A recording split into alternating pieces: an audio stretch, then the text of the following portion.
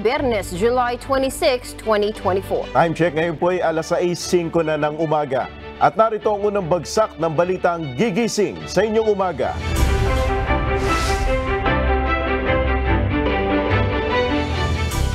Apat pang mga probinsya ang isinailalim na sa state of calamity bunsod ng matinding pinsala na idinulot ng bagyong Karina at Habagat.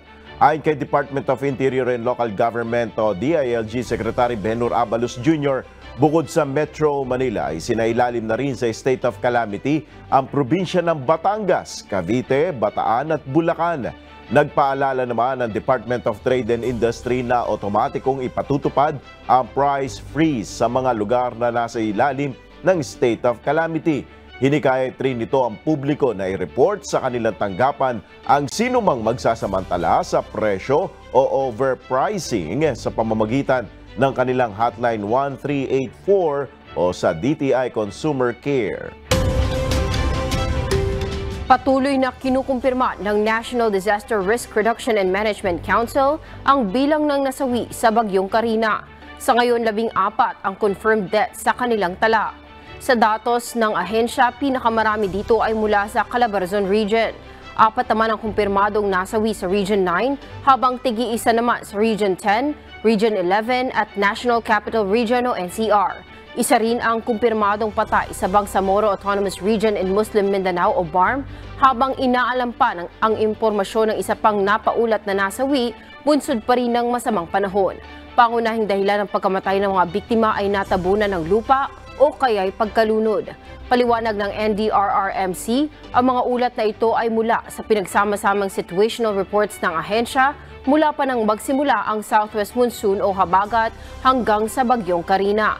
Kinukumpirma pa rin ng NDRRMC ang napaulat na dalawang nasugatan sa Region 10 at tig isang nawawalang individual sa Calabarzon at Region 10. Umabot na sa nasa 203 million pesos ang halaga ng pinsala sa sektor ng agrikultura bunsod ng pananalasa ng bagyong Karina at Habagat sa ilang lugar sa bansa.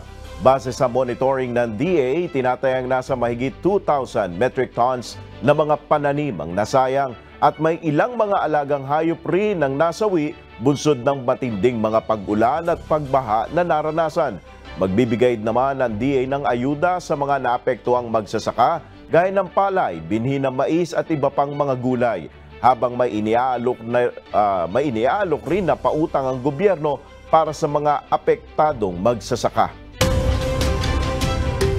Natagpuan na ng mga tauhan ng Philippine Coast Guard ang nawawalang crew ng MV Terra Nova, ang motor tanker na lubog sa Bataan madaling araw ng Webes, July 25. Ayon sa PCG, alas 3 ng hapon nakita ng BRP Melchora Aquino ang katawan ng nawawalang crew na palutang-lutang sa karagatang sakop ng Limay Bataan. Nakita naman ng oil sheen ang tubig sa paligid ng lumubog na barko. Samantala, nagsagawa na ng koordinasyon ang PCG sa LGU at PDRRMO ng Bataan para paghandaan ang posibleng pagtagas ng langis. Inatasan na ni Pangulong Ferdinand Marcos Jr. ang ilang mga ahensya ng pamahalaan para magsagawa ng assessment sa lawak ng pinsala ng oil spill sa Bataan. Kabilang narito ang Department of Environment and Natural Resources, Department of Science and Technology at Philippine Coast Guard. Layo nito na agad na makontain at mapigilan ng lalo pang pagkalat ng tumagas na langis. Basically, what we need to assess is where was the where is the capsized vessel? Uh, the fuel that's being released, anong what are the tides, what are the winds, where is it headed, para maunahan na natin. Some, some uh, determinations on that. Ayon sa Pangulo, mahalaga na malaman na ang uh, environmental experts kung anong uh, mga coastal areas ang naapektuhan ng oil spill upang agad na makapaghanda ng ayuda at relief ang mga pamahalaan sa mga kababayan natin na apektado nito. Isinailalim na ng DOH sa Code Blue Alert status ang Metro Manila, Ilocos Region, Calabarzon at Central Luzon bunsod ng epekto ng matinding pag-ulan at malawakang pagbaha na dulot ng Super Typhoon Karina at Habagat. Sa ilalim ng Code Blue, magde-deploy ng dagdag na mga tauhan ang ahensya bukod pa sa regular na mga staff sa day-to-day operations upang tumugon sa pangangailangan ng mga pasyente. Siniguro naman ng kagawaran na nakahanda ang emergency and essential medical care at public health services sa mga evacuation centers. Kinumpirma ng Office of the Vice President na bumiyahe pa-abroad si Vice President Sara Duterte kasama ng kanyang pamilya para sa isang personal trip. Ayo, ito ay sa kasagsagan ng panalalasan ng bagyong Karina sa bansa. Nitong Miyerkules na madaling araw, nakitang bumiyahe palabas ng bansa ang Vice Presidente kasama ng kanyang pamilya. Sa inilabas na pahayag ng Office of the Vice President, Nakakalungkot na nataon sa pananalasa ng bagyo ang pag-alis ni VP Sara. May permiso o approval din daw ang kanyang pag-alis. Nag-issue rin umano ng Travel Authority ang Office of the uh, President noong July 9 para sa kanyang uh, pag-alis. Gayunpaman patuloy ang pamamahagi ng tulong ng uh, Disaster Operations Center ng OVP sa mga biktima ng malawakang pagbaha Nagpasalamat naman ng OVP sa publiko sa pagrespeto sa privacy ng pamilya ni VP Sara. Malugod na tinanggap ng China kahapon, July 25, ang kautusan ni Pangulong Ferdinand Marcos Jr. na ipagbawal ang Philippine Offshore Gaming Operators o POGOS sa Pilipinas. Sa isang pahayag, sinabi ng Chinese Embassy in the Philippines na naniniwala silang tutugon ang desisyon ni PBBM sa panawagan ng mga Pilipino at nagsisilbing benepisyo para sa parehong bansa. Muling binigyang diin ng China na handa silang ipagpatuloy ang kanilang matibay na kooperasyon sa pagpapatupad ng batas kasama ang Pilipinas upang mas maprotektahan ang kaligtasan at kapakanan ng mga mamamayan. Samantala, susunod sa GMK News. Pagtutok sa pangangailangan ng mga lugar na naapektuhan ng mga pagbaha, ipinagutos ni Pangulong Ferdinand Marcos Jr.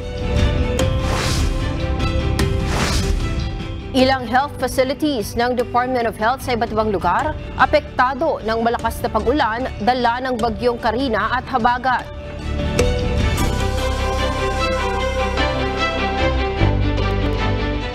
Abangan ang ikalawang bagsak ng ating balitaan mamaya sa GMK News. Kaya mga kasambahay, huwag po kayong magpapalit ng channel. Samantala, puntahan naman natin ang ating kasamang si Joshua Maraming salamat, Kath Ednel. At good morning sa mga kasambahay. Live pa rin po tayo napapanood ngayon sa ating social media accounts, sa ating Facebook at YouTube account ng UNTV News and Rescue at sa Good Morning Kuya Facebook page. At dahil Friday po ngayon, bukas po ang MCGI Clinic dito sa number 141 E. Rodriguez Avenue, Marikina City. Ang ating pong registration time ay alas 5 ng umaga hanggang alas 9 ng umaga. Bukod sa MCGI Clinic dito sa Marikina, bukas din po ang La Verdad Diagnostic Center sa MacArthur Highway, Barangay Sampaloc, Apalit, Pampanga. Ang registration time po from Monday to Thursday ay 10 a.m. to 12 p.m. Pero pag Friday po ay alas 5 din hanggang alas 9 ng umaga. At gaya po ng palaging sinasabi ni Kuya Daniel, ang ating pong MCGI Clinic at La Verdad Diagnostic Center ay bukas po para po sa lahat at wala pong pinipiling kahit na sino kung ano man ang inyong political affiliation or religion, kahit ano po ang inyong kulay, welcome po kayo dito. Kaya po sa mga nangangailangan ng serbisyong medikal, punta lamang po kayo dyan sa ating diagnostic center sa Apalit o kaya naman dito po sa MCGI Charity Center dito sa Marikina City. Ngayong umaga nasa registration area naman si Sistini Balanon para magbigay sa atin ng update. Good morning, Sistini! Good morning, Joshua! Good morning sa lahat ng ating mga kasambahay. At Joshua, maibalita ko lang no, na kanina pang alas 5 ng umaga, nagsimula ang ating registration o yung pagtanggap natin ng ating pong mga pasyente dito sa ating clinic. At alam mo ba na as of 6 a.m. ay meron na tayong 120 na mga registered patients dito po sa ating MCGI clinic. Dito po yan sa 141 E. Rodriguez Avenue, Marikina City. At bukas po itong ating registration hanggang 9 a.m. mga kasambahay kasambahay. Kaya kung nasa biyahe ka o kaya nasa bahay ka pa at gusto mong humabol dito at kailangan mo magpa-check up, pwedeng pwede ka pa pong pumunta dito sa ating clinic sa 141 E. Rodriguez Avenue, Marikina City. At syempre, alam ko na miss ng ating mga kasambahay kung ano ba yung, yung pagtutour natin dito sa ating MCGI clinic para rin dun sa mga hahabol pa lang o kaya dun sa mga first time pa lang at nagbabalak pumunta dito sa ating MCGI clinic. Ano ba yung aasahan nila? So tara, samahan niyo ako, itutur ko kayo dito sa ating clinic. So, dito sa aking likuran makikita nyo yung ating MCGI Charity Center at makikita nyo rin no, yung may mga naka-standby dyan na mga wheelchair. Yan kasi yung ginagamit ng ating pong mga kasama dito na News and Rescue or DRRT kapag may dumarating po na mga senior citizens or PWD na kailangan ng wheelchair at nahihirapan na pong maglakad. So, andyan po, ready-ready po yung ating mga wheelchair. Tatlo po yan na pwedeng gamitin ng ating mga kasambahay na pupunta at kailangan ito dito sa ating clinic.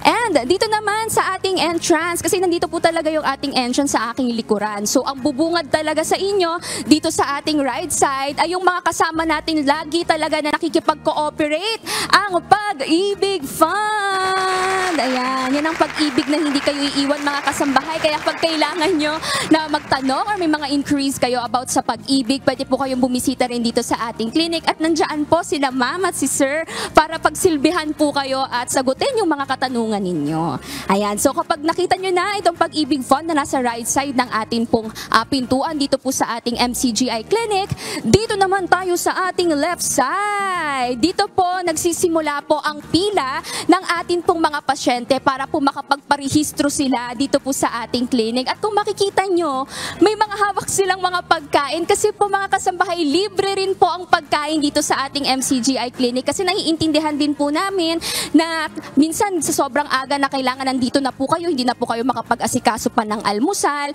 Kaya ngayon, ayan, hello, good morning po sa inyo. Ayan, dito na, dito na kayo mag-almusal mga kasambahay. Kaya yung makikita ninyo, hawak-hawak nila ang lugaw with egg. At syempre may libreng pakapirin yan tsaka tubig kapag kailangan na ng ating mga kasambahay.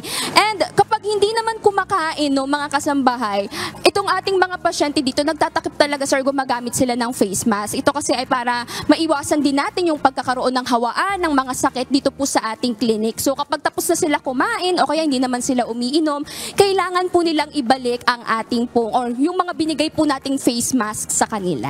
Ayan, okay po ba yun? Naiintindihan po ba yun? Ayun, salamat po sa Diyos. Ayan. So, ito rin po ating mga pasyente na naririto. Aware din po sila na kailangan magdala sila ng ID o kaya ng mga valid IDs po nila. Meron po ba kayong valid IDs?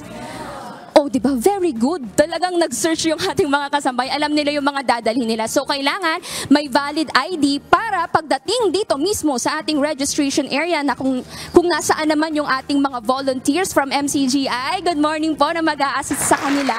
Mabilis na po yung proseso ng pagpaparehistro dahil meron na po silang valid ID na maipepresent sa ating pong mga volunteers dito sa Secretariat Stable or sa ating registration area. At dito rin, ibinibigay din ng ating mga volunteers ang mahiwagang form. Sa form po na yon, ilalagay ng ating mga pasyente yung kanilang mga pangalan o yung mga information na kailangan po nilang ilagay para po pag-akyat naman nila dun sa ating medical consultation area, eh madali na lang para sa ating mga doktor na magreseta sa kanila o kaya ibigay yung diagnosis sa kanila. Kaya wag niyo pong iwawala yung form mga kasambahay ha dahil napaka-importante po niyan. So once na makapagparehistro na po sila dito sa ating registration area, lalakad lang po ng konting-konti yung ating pong mga kasambahay. Pero gaya nga ng sinabi ko kanina, kapag senior citizen ka or PWD, at nahihirapan ka na maglakad-lakad kahit kaunting lakad lang, meron naman po tayo dito elevator na open po dun sa mga kailangan nito, lalo na dun sa mga senior citizens natin at PWD para hindi na rin po sila aakyat pa ng hagdan. So to continue mga kasambahay, dito naman po tayo sa area kung saan, ito po yung tinuturo natin na step 3 ng atin pong ano, nung ating, dito po sa ating clinic. Kasi dito po sa area na ito, dito naman po kinukuha nung atin pong mga yan, from UNTV News and Rescue, yung ating pong mga volunteer nurses, yung vital signs ng ating pong, yung, ah, ng ating pong mga pasyente. So para pag akit po sa medical consultation area, hindi na rin po mahihirapan pa yung ibang nandoon. So dito pa lang, kinukuha na, na sila ng vital signs para mapabilis po yung proseso at yung pag-andar po ng ating pila. Kaya gusto ko pong mag-good morning sa lahat ng mga nandito. Nakapag-almusal na po ba kayo? O di ba Mga busog na sila. Mamaya ulit meron yan. Pwede pa po kayong humingi kapag nagutom pa po kayo, ha?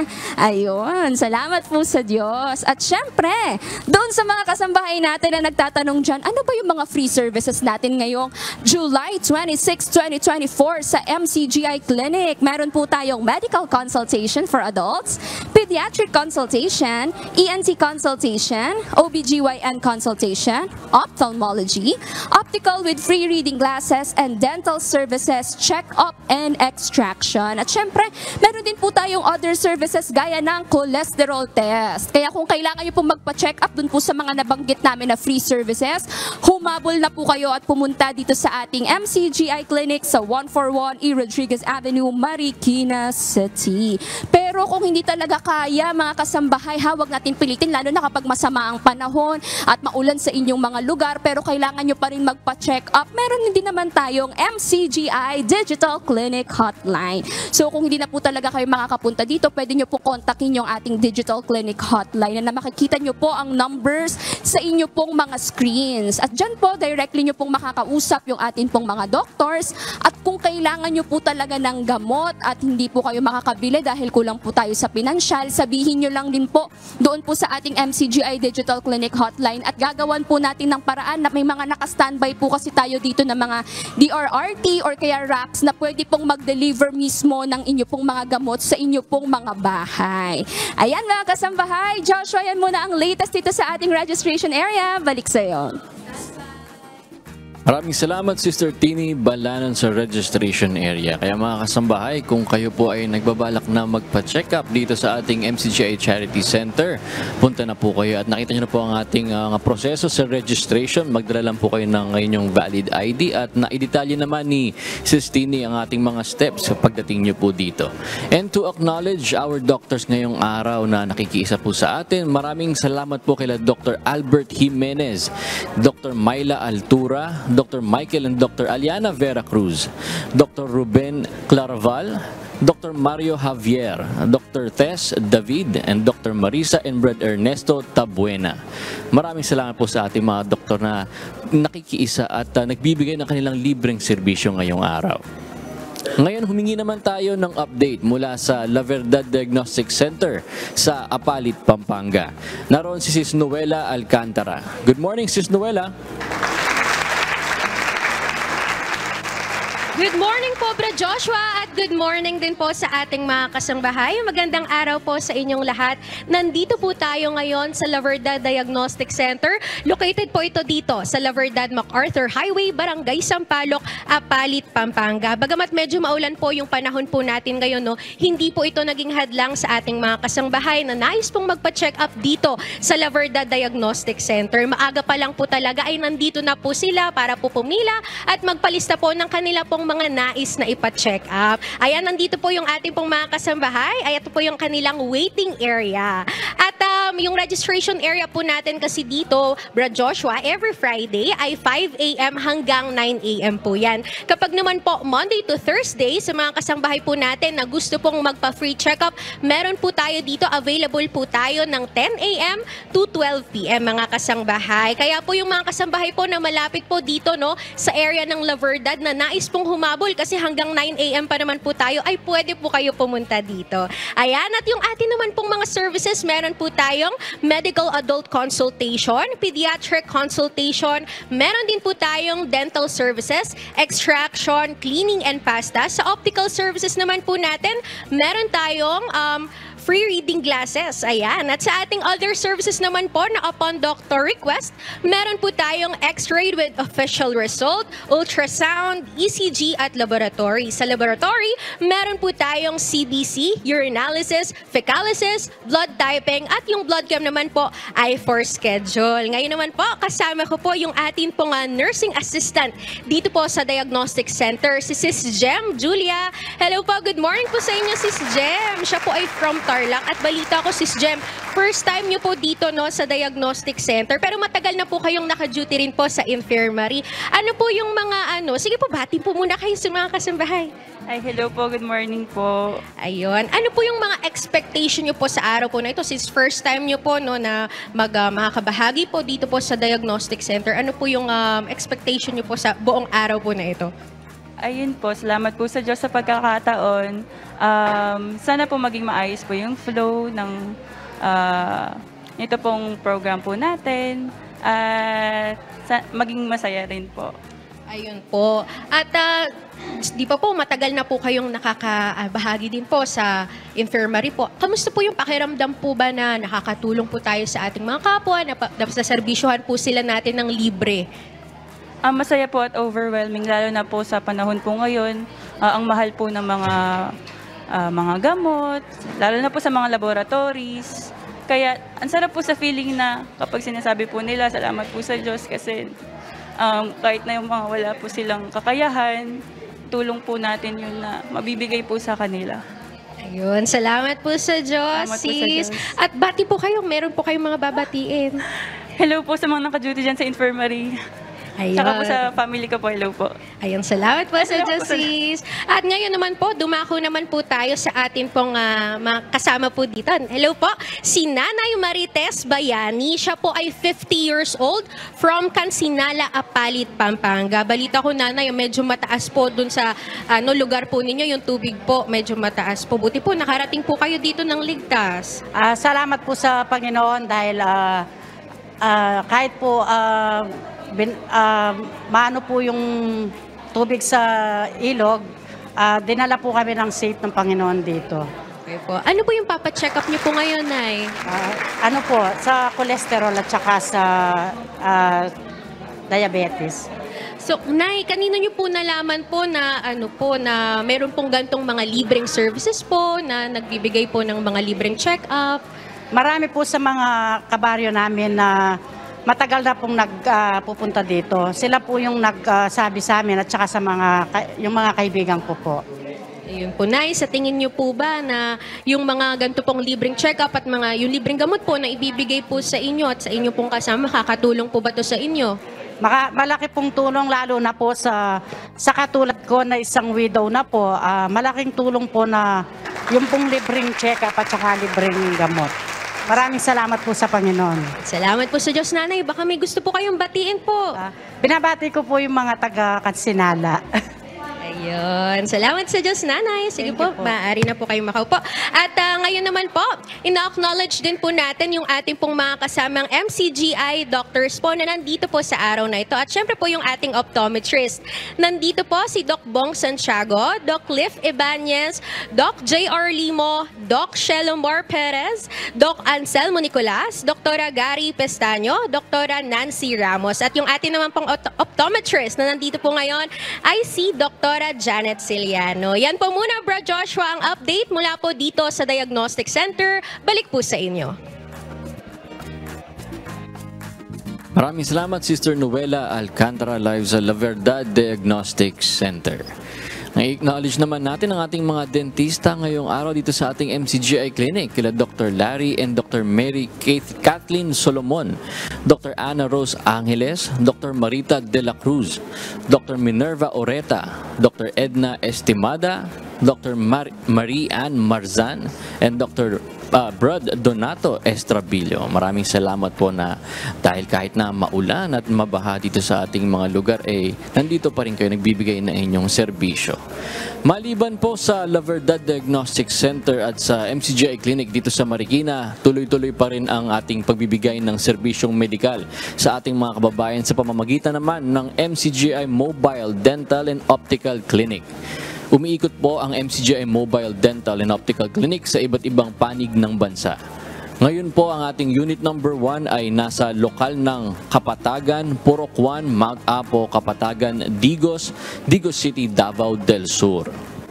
Ang ating pong unit number 2 ay nasa lokal ng Diwa Hacienda 2, Barangay Diwa, Pilar, Bataan.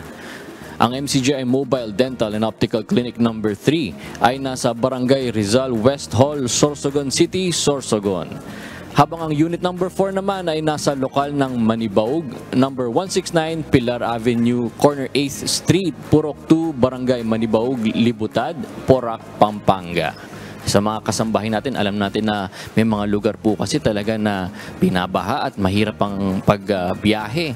ang mga mobile dental and optical clinic na po natin ang pupunta sa malapit sa mga area ninyo. At kung kung malapit po sa inyo itong mga nabanggit nating mga units ng ating mobile dental and optical clinic, ay pwede kayong bumisita at welcome po kayo dyan kung meron kayong ilalapit tungkol sa inyong mga ngipin or sa, alam ko po may mga free reading glasses din po para sa ating mga kasambahay na may problema sa paningin. Samantala, naghanda rin ng mga free meal ang mga kapatid sa MCGI Caloocan City Chapter para maipamahagi sa ilan nating mga kababayan. Makibalita tayo kay Sis Christine Camacho. Good morning po sa inyo dyan sa Navotas.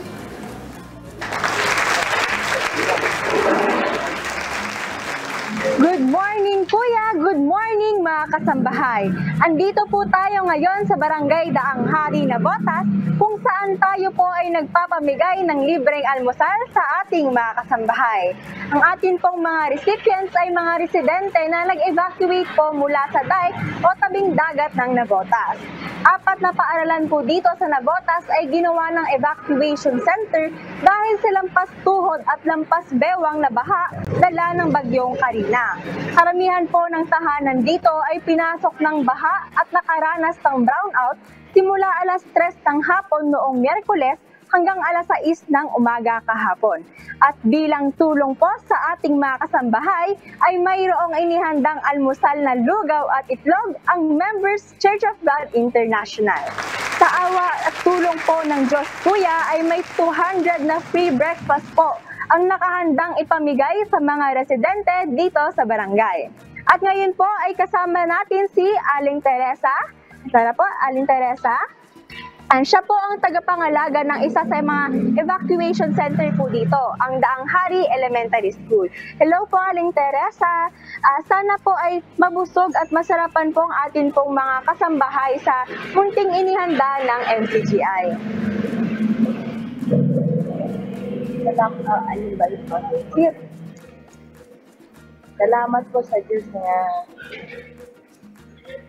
Ayan, sir. mapupusog din yung mga nabibigyan ng mga ano sa sa mga nag-evacuate. Ay, salamat po sa Diyos, ating ter Ate Teresa. Ayan. Sige po, at ngayon po kuya ay kasama ko din po ang ating mga volunteers na kaninang madaling araw pa lamang ay abala na po sa pagluluto at paghahanda. At ngayon po kuya ay babati po kami. Tara po mga kapatid.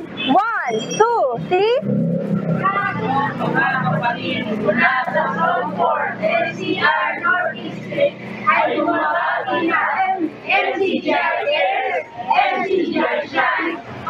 three. Salamat po sa Diyos at back to you po, kuya.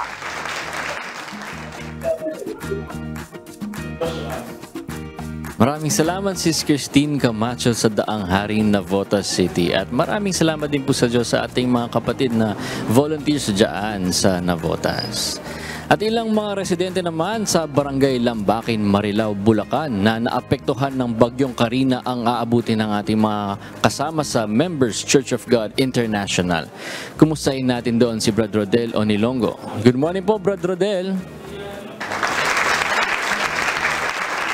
Good morning Kuya at sa lahat po ng ating mga taga-subaybay ng programang Good Morning Kuya. Tayo po ay nandito ngayon sa Barangay Lambakin sa may covered court. At ah, sa kabila ng ah, mabigat na naging sitwasyon ng ating pong mga kababayan sa dakong ito ay hindi pa rin nawawala ang kanilang pag-asa na may awa ang Diyos na sa kanila ay kakalinga. At sa umaga pong ito ay nagkaloob po tayo ng nagkakaloob po tayo ng ah, paalmusal, libreng lugaw na meron po tayong inihandang ah, limang daan para sa limang daang katao at sa ngayon ay nasa halos tatlong daan na po ang atin pong naiseserve para po dito sa ating paalmusal sa araw na ito. At ah, kung magugunitan, ito pong mga kahapon lang, halos ang mga kabahayan dito sa dakong ito ay ah, halos lubugan na po, hindi na makita. At kapiling natin sa pagkakataong ito, ah, kuya, ang atin pong barangay kagawad at presidente ng homeowners upang kahit paano ay makapagbalita sa ating mga kababayan at makapagpasalamat sa mga tulong na dumarating po sa kanila. Nandito po si kagawad na Gilbert Busita. Ah, bu- ah, Busito po, Busito, baka magalit si Colonel Busita.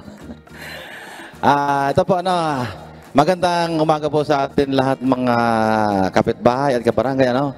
Masyurte po tayo dahil dinala po tayo ng MCGI sa pamumuno po ni ah, Daniel Rason, no? Ah, at uh, tala sa lahat sa mga kasama niya, mga staff, lahat po. Ito po kakarangalan po namin na madalaw nyo kami rito dahil sa ganitong pagkakataon. Talaga po ito kailangan namin, no? Ah, tawag dito. Ah, yun nga po, nakakalungkot po. Sa tatlong ah, pagkakataon po, tayo po ay dinalaw na naman ng medyo masamang panahon. Ito po ay pangatlong bis na nangyari sa amin dito, no? Ah, pero po, sa ganitong mga ginagawa po ng MCG ay talagang nababawasan po ang aming mga nararamdaman. Kasi talagang dito po namin nakikita yung damayan ng bawat Pilipino, no? Ah, tawag, ah, yun po. Eh, kung lang po tayo, medyo talagang nakakalungkot, no? Ah, kami po nananawagan po kung sa may mga mabubuting loob, ano, pwede po manawagan, ano? Ah, kasi po talagang kailangan kailangan po namin dito ng mga residente yung mga gamot po, mga tubig, pagkain, yun talagang mga hot meal. Yun po. Kasi po yung mga kusina po dito ng mga kabahayan, hindi pa po sila makakasaing kasi kung po tawag dito na talagang naglilinis sila, nag, ah, mga basa pa po yung mga kwan nila, no? Pero po, sa katulad po ng ginawa ng ating mga brad na MCGI, marami po rin nagpapabot sa atin ng mga tulong, no? Kagaya po may nag may nagpapahiram po sa amin ng mga dump truck, ah payloader para pag maghahakot po sa mga debris o mga nabasang mga kagamitan na hindi na mga gamit ng mga residente, yun po ay tinatapon na nila para ano, para hindi na po na makapaginabangan nila, no? Ah, mga kababayan po, sasamantalahin ko na lang po itong pagkataon na to para pasalamatan po lahat na po ng donors, lahat po ng sponsor, no? Lahat po nagtulong, nang nagtulong-tulong, mga volunteer sa amin pong mayor, ah, Henry Arlutaw po. Ah, kung wala po siya sa ganitong pagkakataon at sa kuna, talagang lugbog po talaga kami. Dahil sa kanyang pangangalaga sa amin bilang mga ah, mga anak niya ng Marilao, ah, bumaba at nabigyan kami ng napakalaking tulong. Ganun din po ang aming Kapitan Jim Parawan, no? na hands-on po sa aming pagtulong ay siya po ay talagang halos wala na ang tulog. Ah, kami ganun din po. Halos wala na rin tulog kasi kahit matutulog na po kami, andyan pa rin yung tawag para marespondihan sila at matulungan. Ah, ganun din po mga kababayan ano, ah, bukas po ang aming mga ah, tanggapan sa amin dito sa Lambakin na kung sino man po ang may magpapabot pa ng tulong, ah kontakin niya rin po bulang ako o kaya ang aming Kapitan Jim Parawan para po yung mga tulong na may papahatid niyo po ay makakarating po talaga sa nangangailangan. Kaya po, ah, muli po, nagpapasalamat po ako sa ganitong mga aktibidades, no? Sa ating mga kababayan para maipabot sa kanila yung mga tulong para sa amin. Marami pong salamat sa inyo mga kapatid at mga, ang mga sister at mga brad. Salamat po sa inyo. Ayan po, si Kagawad uh, Gilbert Bosito dito po sa Barangay Lambakin. At ah, pagbati lang din po, ah, Brad Josue, sa atin pong mga kapatid dito po sa MCGI, sa lokal ng Lambakin. At binabati ko na rin po ang aking mahal na asawa na nanonood ngayon. Ang ating mga kasamang ah, district servant sa ating mga KNP, Brad Mel, Brad ah, Lito, Brad Jerry. At ganoon din po kay na Brad ah, Tito sa kanyang may bahay, Sis Beng. Binabati ko na rin po si Brad Edwin, Brad Sandel, Brad Lorman, Brad Sani, Brad Benji, Brad Islao, sa lahat po ng mga district servant at sa mga servant, sa mga officer ng ah, Bulacan na walang sawa at patuloy na nakamonitor sa atin pong kalamidad sa araw na ito. At ah, kuya, meron lamang po sa bayang pagbati ang atin pong mga kapatid dito po sa Lambakin. One, two, three. MC. Back to you, Josue. Maraming salamat Brad Rodel Onilongo sa Barangay Lambakin, Marilao, Bulacan. Mga kasambahay, ngayong linggo sunod-sunod na malalakas na pag-ulan at malakas na hangin ang naranasan natin dahil sa epekto ng bagyong Karina at Habagat. Marami ang mga kababayan natin na kinailangan lumikas dahil sa pagtaas ng baha. At sa mga ganitong pagkakataon na may biglaang paglikas, dapat ay palagi tayong nakahanda. Isa sa mga importante na nakahanda ay ang ating mga go bag.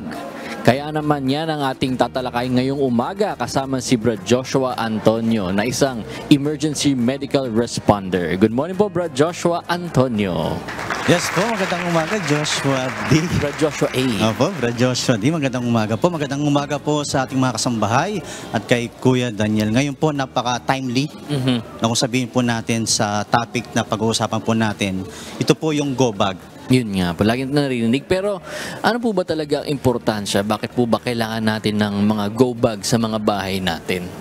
Ah, ito po, ah, itong go bag na kung tawagin po natin is emergency go bag. Ngayon, bakit natin tinatawag na emergency go bag?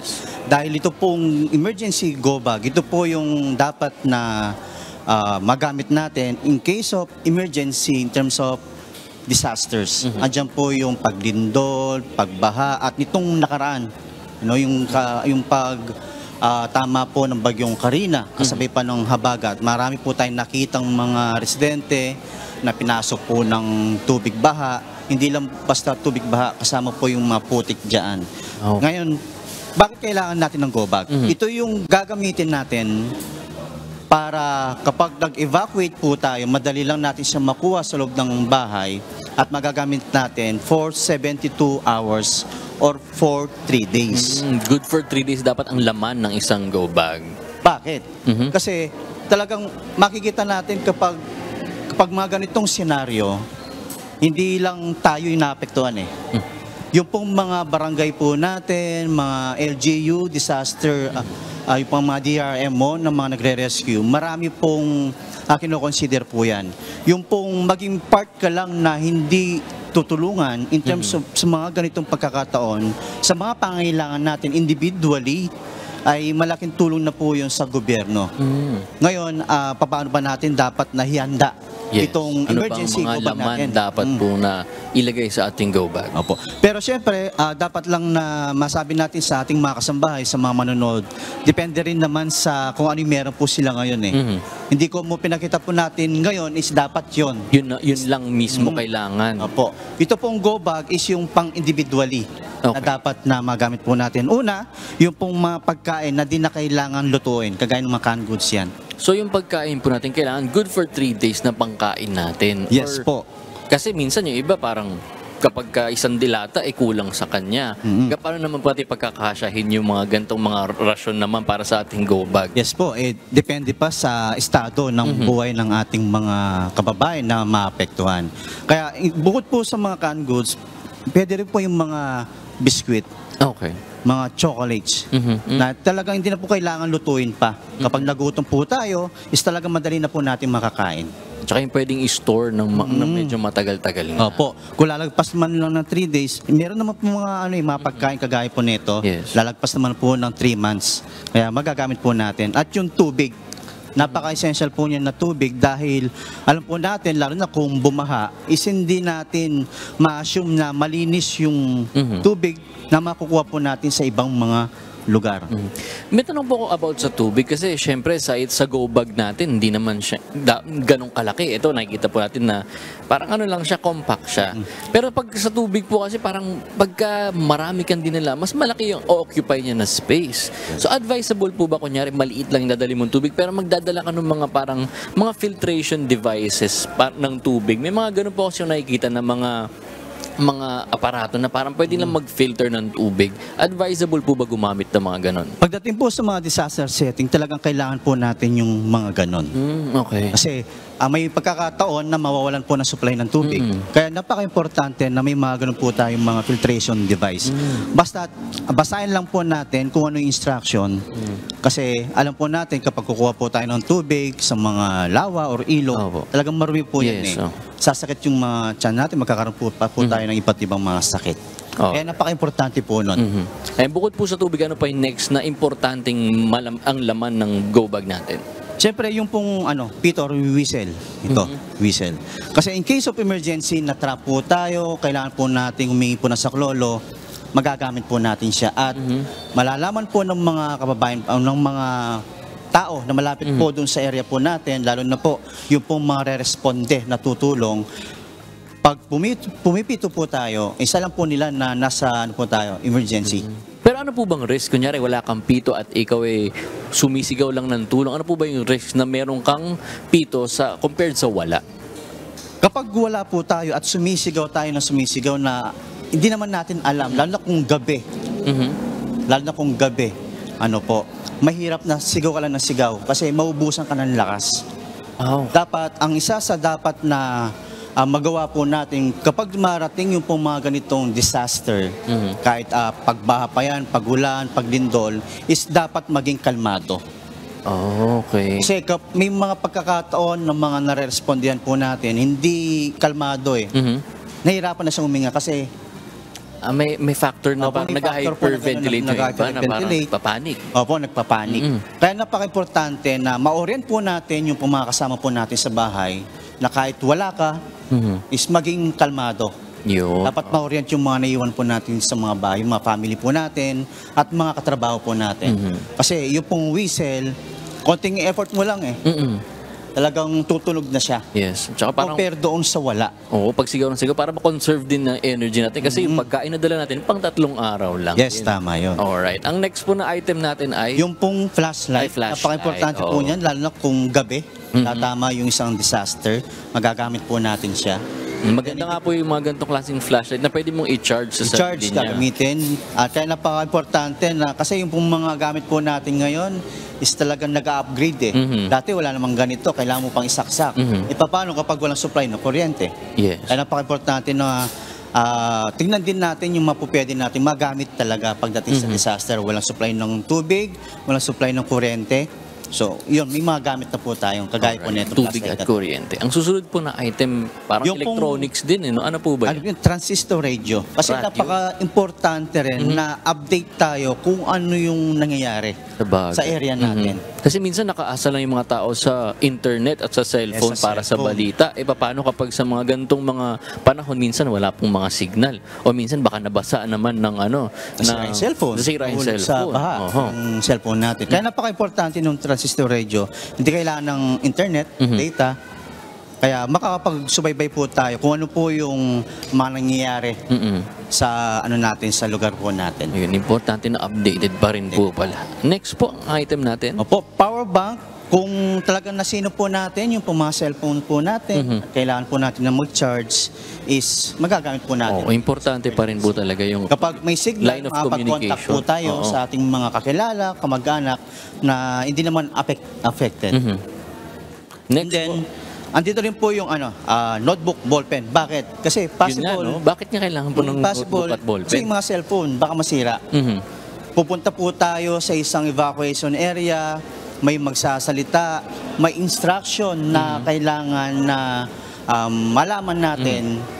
susulat, isusulat natin. Ay, okay. Kasi kung marami po yon, kung may kailangan na ip- ibibigay natin sa barangay, sa LGU, isusulat na lang natin kung ano yung mga kailangan. At least, sa ganito, kahit walang cellphone, magagamit. Mhm. Usually min- yung mga problema nga po sa mga evacuation, minsan yung miscommunication ano Yes. na nag- nagkakaproblema sa communication. Maganda na naililista po natin yung mga kailangan nating gawin nga para mas kumbaga mas seamless yung pag ah, yung proseso ng mga evacuation. tama yun. Okay. Ano po bang next item natin? Siyempre yung first aid kit. Mhm. Importante na may alam po tayo sa pagbibigay po ng pangunang lunas. Mhm. And then kasabay po niyan yung ating mga medicines. Kasi lalo na kung may kasama po tayo nagme-maintenance, Mhm. mga senior citizen o yung mga may sakit. Kailangan po talaga yung mga maintenance. Pag ilang, pag gaano katagal naman po, pang tatlong araw lang din po ba ang Three kailangan? days rin. Pero kung kaya din naman ng ano, i-consume ng bag, much better kasi hindi natin alam kung ano yung ano. Yun nga po, eh, baka mamaya mas matagal pa sa tatlong araw. Eh, Possible na mangyari nila. po yun, kagaya Yes, po oo. nangyari sa Tacloban. Mhm. Napaka, ilang days o ilang linggo bago dumating yung ah, yung tulong. Mhm. At nawalan pa po ng signal po ng communication, kaya Yeah. napakahirap. So mas maganda talaga nakabaon yung mga maintenance medication natin. Yes. Ng pang- At saka i-check lang din po siguro kung Siyempre yung expiration Oh, date. yung expiration ng mga Yes, gamot, yes. baka matagal na nakatambak ng palitan natin. Ang next item po natin Yung ating ay- hygiene kit, mga sabon. hygiene- ah, okay. Yan, Kailangan po natin yan. Maligo Paano pa rin kasi inisip, Oo. naligo na sa ulan, parang pwede na yun. Yes. Pero bakit po kailangan pang ano mag sa mga gantong parang anong importansya ng good hygiene naman sa mga nasalanta naman ng mga gantong calamities? Siguro nakapunta ka na rin sa mga evacuation area. Mm. Yung pasensya na po, in terms yung sa masasabi natin na pasintabi po yung amoy, Mhm. iba po eh. And then kasi kailangan natin na maging malinis sa ating mga katawan Mm. para iwas sakit po tayo. Yun, oh. Lalo na kapag disaster, ah alos lahat ng mga nasa paligid natin, yung hawakan po natin is marumi. Mm, Kasi Kaya- siksikan din yung mga Opo, tao sisigan. dun. Kaya napaka-importante na may mga hygiene kit po tayo, hugas po tayo ng sabon, kung may tubig, at yung alcohol. At po pwede rin mga tissue, wet wipes, yan. Yes. Ma- pwede natin ilagay sa ating goba. Importante rin talaga ang hygiene kit natin. Ang next po ay ah, Yung ating syempre yung damit. damit. Mga Oo, damit. pamalit. Natin. Oh, pamalit po natin for 3 days din po yan. Mhm. Nainisip ko nga po na parang kunyari, iba kasi hindi nila napaprioritize minsan yung pamalit na damit. Parang hindi nila naiisip na essential to para sa sa evacuation. Ano naman po ba yung risk kapag ka, kunyari nakababad ka sa basang damit? Kunyari, ito nga po malakas ang ulan na nararanasan natin. Eh, babad ka sa basa yung damit mo, wala kang pamalit. Ano po ba yung mga risk na pwedeng mangyari sa mga kasambahay natin? Isa po yan kasi lalamigin ka. Mhm. And then kapag ah, nilamig ka na, yung pong likod mo, prone to sa lamig, is talagang possible na sisipunin ka, Yun, magkakaupo ka. Mhm. Kaya napaka-importante, kung hindi naman na umuulan, kung may extra po tayong damit, pamalit, is magpalit po tayo. Alright. Ang next po natin, ito naka Ah, and then yung pong Ano po ating mga documents. Okay. Ano po ba ang mga essential documents na dapat nandito po sa loob Pre, natin? yung pong mga ano natin, birth certificate, Mhm. yung pong meron din po yung mga passport, ano po, na kailangan po natin, mga ID. Mhm. Kasi sa sa mga ganitong ah, pagkakataon sa disaster, sa evacuation, talagang naghahanap po sila ng pagkakakilanlan mo. Opo. Mm, Kasi pa- meron is may mga nababalita at may mga insidente na sinasamantala yung pagkaka, ah, pagkakataon na yon para mapagsamantala. Okay. Doon sa hindi tama. Paano yun? Yung pagkuha ng mga relief goods na dapat is para doon sa resident. Okay. Para, ma- Kaya napaka-importante para po mga accounted yung bawat tao. Kunyari sa isang evacuation center, accounted yung bawat tao na nandoon. Opo. Okay. At dito na po lalo sa mga met, ah, sa Metro Manila talagang may dapat may ID ka na pagkakakilanlan na taga ron ka Mhm. para yung benefits na kailangan na ibigay sa is may bibigay. Yun. Eh, pero siyempre alam naman po natin na kapag walang mga ganito is may mga consideration na ginagawa Mhm. yung ating mga LGU at ng mga barangay. At kung napansin nyo is may plastic. Mhm. Ah, akala ko parang extra lang po yan, pero talagang deliberate na nandito po yan talaga. Kailangan natin ng plastic. Bakit? Para sa mga damit, yung kapag nabasa is masisira, yung Okay. gamot, yung pong mga ah, flashlight, transistor radio, power bank, kapag nabasa po kasi yan, hindi na magagamit. Lahat ng mga hindi pwedeng mabasa. At siguro natin hindi butas yung ano yung plastic na dala na. Make sure lang po na hindi Oo. butas.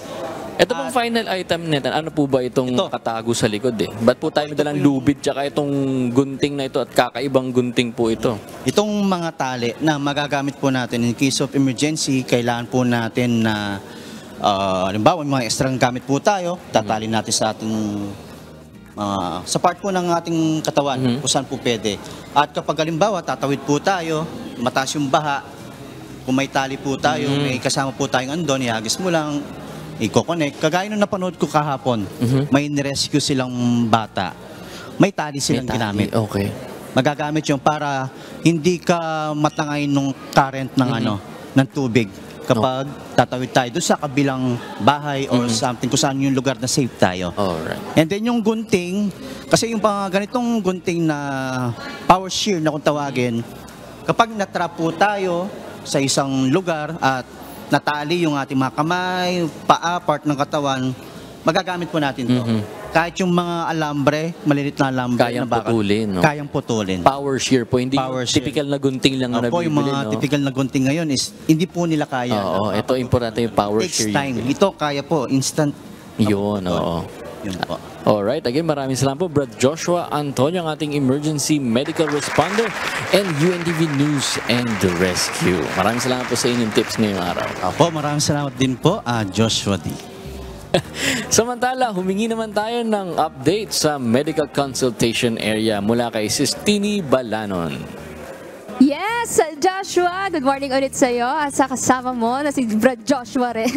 Pero nandito tayo ngayon sa ating medical consultation area sa second floor ng ating MCGI Clinic. At kung makikita nyo sa aking likuran o dito sa pwesto kung nasaan talaga ako ngayon, dito naman ang pila para naman doon sa mga kasambahay natin na kailangang magpa-check up dental services ang kailangan. So, dito po sa area na ito, dito po sa may bintana kung makikita po ninyo, ito pong kwarto na to, dito po isinasagawa yung atin pong um, dental services, yung extraction po natin and check-up. Diyan din po isinasagawa or diyan din po ginagawa ng atin pong mga dentist, yung pagsusukat din po ng pustiso para naman doon sa mga kasangbahay natin na kailangan na po ng panibagong o kaya kailangan na po magpapustiso dahil wala na po silang mga ngipin. Dito po ninyo pwede pong, o dito po kayo pwedeng pumila, pumila sa area po na ito kung nasaan po ako ngayon. At continuation din to Joshua ha, ng ano, ng pila sa baba, dun sa ating vital signs kasi kapag hindi po nakuhanan doon pero nau- sila sa pila, dito rin po tinutuloy din po natin yung pagkuha ng vital signs at may mga volunteers po tayo dito na mga NAR or yung ating news and rescue para kuhanan po sila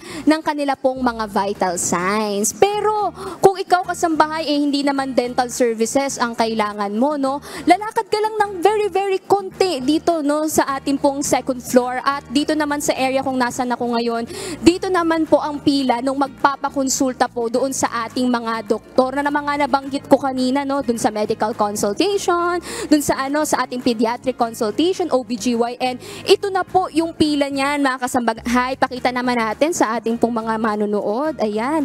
Ito po yung area kung saan na po kayo pipila. May mga pwede po kayong lapitan dyan. Tanungin nyo lang po sila kung saan po ba ang pila para po dun sa mga sa adult medicine, sa pedia, sa OBGYN o kaya dun sa OPTA. So ituturo po sa inyo ng ating pong mga naka-uniform na personnel dito, yung ating mga kasama from UNTV, News and Rescue, kung saan po kayo dapat pumila. At dito po sa area na ito, dun po sa may harap, dun po ang OBGYN, doon din po ang pedia. Kaya makikita nyo po may mga chikiting po na naglalaro dyan paminsan-minsan para po ah, kahit papano eh, maayos din po yung area ng atin pong mga chikiting, yung atin pong mga daladalang mga bata. So OBGYN and pedia doon po sa left side ng atin pong second floor or ng atin pong medical consultation area. At dito naman po kung nasaan ako ngayon, dito po ay sa right side naman. Dito naman po sinasagawa yung atin pong mga therapy dito po sa mga closed doors na ito. Kapag may mga therapy po tayo or other services. Dito rin po yung pila ng atin pong sa, pa- para po sa OPTA. Dito po at saka sa ENT. Kaya kapag kailangan nyo po ng mga magpakonsulta sa mga ganun pong ah, ah, kailangan natin sa ating pong mga katawan, ENT and OPTA, dito po kayo sa area na to sa right side. At dito po makikita ninyo, kasalukuyan po tayong nagbibigay no, ng mga free reading glasses. Nagsusukat din po tayo para po dun sa mga kasambahay natin na may problema sa kanila pong mga mata. And this time, may kasama po tayo dito na kanina po yung nakausap ko at magpapakonsulta rin daw po si Nanay Lina Gualvez, 72 years old na taga Marikina City. At si nanay po ay magpapacheck up po ng ano po nanay? Sa mata po. Ano pong nangyari sa mata ninyo? Di, siyempre po nakakabasa na, di na nakaka, lalo sa cellphone, di ba makakita. Hindi nyo na po masyadong makita, nanlalabo na po. Kaya po kayo magpapacheck up dito. Wow, pero anong oras po kayo dumating dito sa ating clinic? Ano po, ah, siguro po mga minus 15 para alas 5 po. 15 minutes before 5 or 15 minutes bago mag-start yung ating registration. Wow, pero nanay, baka may ano po, baka may gusto po kayong sabihin naman dun po sa ating mga kasambahay na gusto pong magpa-check up or kailangan pong magpa-check up, i-invite nyo po sila dito. Ah, good morning po sa mga po kasambahay na gusto po magpa-check up po. Yung mga wala po silang mga naga, ginagawa rin po sa bahay, pwede po rin sila magpa-check up dito po.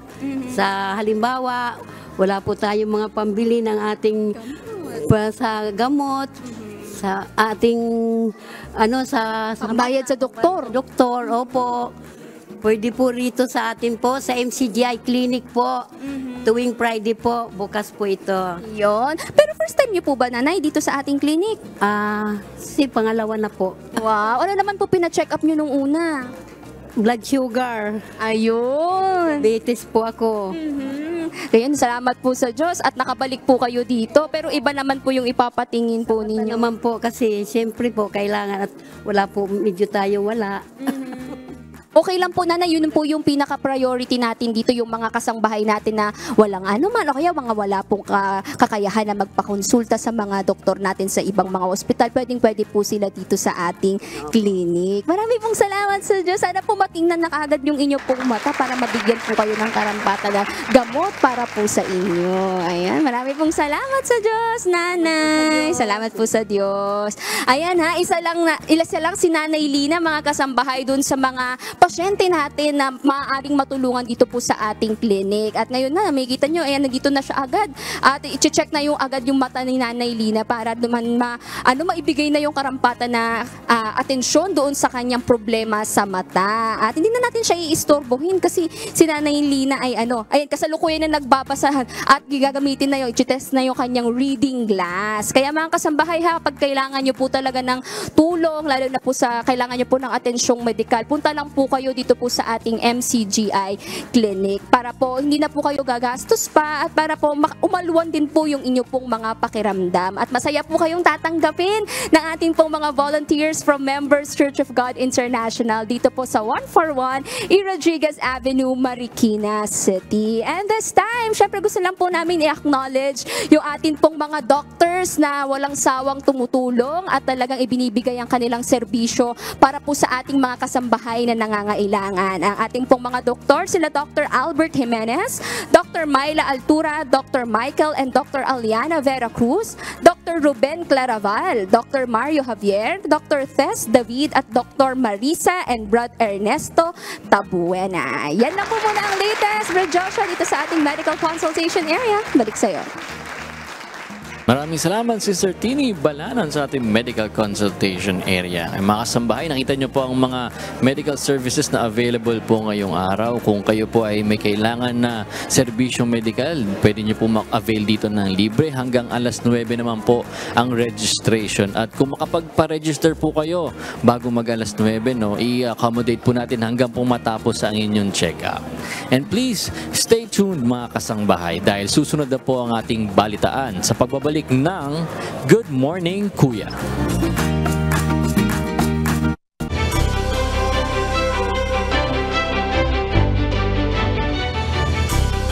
Magandang umaga sa ulo ng ating mga tampok na balita sa oras na ito.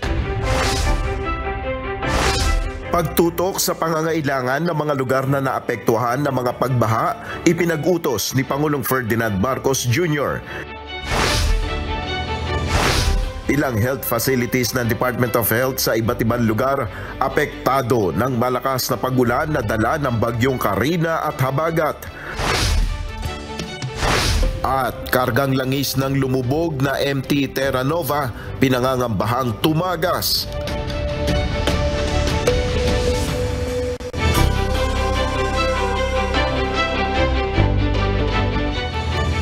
Binigyan din ni Pangulong Ferdinand Marcos Jr. ang halaga ng pagtutok sa pangangailangan ng mga lugar na naapektuhan ng mga pagbaha dahil sa Super Typhoon Karina at pinalakas na habagat at isa na rito ay ang kalusugan ng mga evacuee. Personal rin bumisita ang Pangulo sa mga lugar na binaha sa Kamanava area. Narito ang report. Nais ni Pangulong Ferdinand Marcos Jr. na mabusising mabuti ang sitwasyon ng mga binahang lugar sa National Capital Region, Central Luzon at Calabarzon. Sa situation briefing sa Malacanang, ayon sa Pangulo, kailangan malaman ang estado ng bawat lugar at ang kanilang mga pangangailangan upang mas epektibong makaresponde ang national government. We have to be very focused in the, in the use of what we have. Uh, so that's what uh, we need to determine. Where are the areas that still are in the rescue phase na hanggang ngayon nag, nag, nag ano pa tayo, nag-rescue pa tayo ng tao. Where are the areas that are now in the relief phase? That doesn't mean, kuminsan sabayan. that doesn't mean that it's not mutually exclusive. You can be in rescue phase and relief phase at the same time. Iniutos naman ni Pangulong Marcos sa Department of Health na magpadala ng medical teams sa mga evacuation center. The next part of this is going to be our healthcare. Kuminsan nakakalimutan yan eh. But those in the evacuated areas will need to, kailangan meron silang clinic sa bawat evacuation center or at least may umiikot na medical team. Kahapon, personal na binisita ni Pangulong Marcos ang mga lugar na binaha sa Kamanava area. Sakay ng truck, inikot ni PBBM ang ilang lugar sa Valenzuela City, Malabon at Navotas City. Pinangunahan rin niya ang pamimigay ng relief goods. Andito po kami para mag-inspection ng konti, makita kung ano ba talaga ang kalagayan ninyo. Tinignan rin ni Pangulong Marcos ang nasirang navigational gate sa Navotas. Ito ay nasira dahil sa nagpumilit na pumasok ang isang barge. Ayon kay PBBM, dapat muling tignan ang disenyo ng mga flood control. So we have to relook, we have to examine some of the designs of our flood control. Dahil, for example, this was not, the, the, the amount of water was not as bad as Undoy. But the effect was greater than Undoy. Mas malaki ang baha. Nagpaalala rin si Pangulong Marcos ng tamang pagtatapon ng basura. Sana matuto naman ng tao, huwag na mag kayong nagtatapon ng basura dahil yung basura yun ang nagbara doon sa mga pump natin. Kaya hindi kasing effective na pwede. Sa kasalukuyan, lubog pa rin sa baha ang malaking bahagi ng Navotas City. Ilan sa mga residente ay nananatili pa rin sa mga evacuation center. Nel Maribhok, UNTV News and Rescue, Diyos ang aming sandigan, serbisyo publiko ang aming pinahalagahan. Maaari nang makauwi ang daang-daang pamilya sa evacuation center sa Quezon City. Tuloy-tuloy naman ang ginagawang paglilinis ng mga residente sa kanilang mga binahang bahay sa Bagong Silangan, Quezon City. Ang barangay ang pinakanaapektuhan ng matinding buhos ng ulan at pagbaha sa lungsod. Ang detalye sa ulat ni Rosa Licos. Makapal na putik, tambak na basura, basang mga gamit, sirang mga appliance. Yan ang dinatna ng UNTV News Team sa Tumana, Barangay Bagong Silangan sa Quezon City. Isang araw ito matapos manalasa ang matinding buhos ng ulan at baha. Ang mga residente nagsimula ng maglinis ng kanilang mga bahay, magpatuyo at magsalba ng mga maaari pang gamitin. Gaya ni Tatay Manny, 71 taong gulang, nagsasideline bilang construction worker. Hinugasan niya mga gamit na naputikan. Mahigit isang dekada na itong nakatira sa lugar at malapit sa ilog. Anya, bagaman ilang ulit nang naapektuhan ng kalamidad, hindi niya maiwan ang bahay sa Tumana dahil may sarili itong taniman ng kalamansi, puno ng suha at iba pa. Marami kasing mga tanim kaming inaalagaan dito. Dito kami kumukuha ng pang-araw-araw halos. Kaya pagka may medyo may baha, hali ka sa kagad. Dagdag pa nito, posibleng abuti ng isang buwan bago niya maibalik sa dati ang kanilang taniman. Sila Mang Jun naman at kanyang mga kaibigan, hindi maiwasang mag-alala sa mga susunod pang kalamidad na posibleng manalasa sa kanilang lugar. Subalit anila, hindi sila nawawala ng pag-asa, kaya kasama ang mga kaanak at kaibigan, magkakatuwang sila sa paglilinis ng mga binahan nilang bahay. Ba't naman tayo mawawala ng pag-asa eh, andyan naman si God. Para ano, wala naman ibang magsusurvive ta sa atin, kundi si God.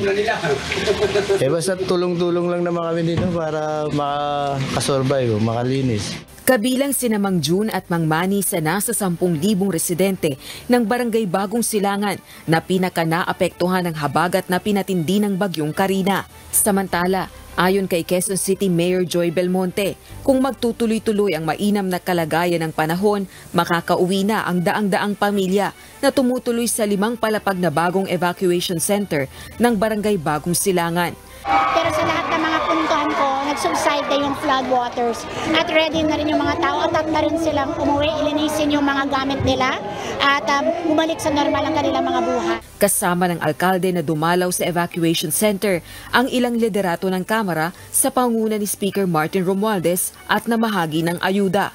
Sa buong Quezon City, umabot ng mahigit 55,000 individual ang evacuees dahil sa epekto ng habagat at bagyo. Rosa Licoz, UNTV News and Rescue. Diyos ang aming sandigan, serbisyo publiko ang aming pinahahalagahan. Nangangailangan ng Marikis, uh, o Marikina City ng mga kagamitan para sa paglilinis at paghahakot ng mga basura na iniwan ng pagbaha. Ayon sa Marikina City, nasa higit 30,000 ang mga naapektuang residente sa lungsod at tinatayang nasa 16 million pesos na ang naging pinsala sa mga ari-arian. Narito ang report ni JP Nunez.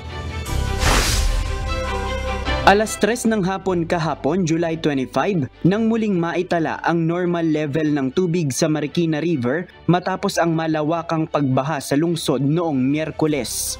Sa mga drone video ng UNTV, makikita ang mga basura sa gilid ng kalsada at mga putik na patuloy na nililinis ng pamahalaang lungsod at ng Metropolitan Manila Development Authority.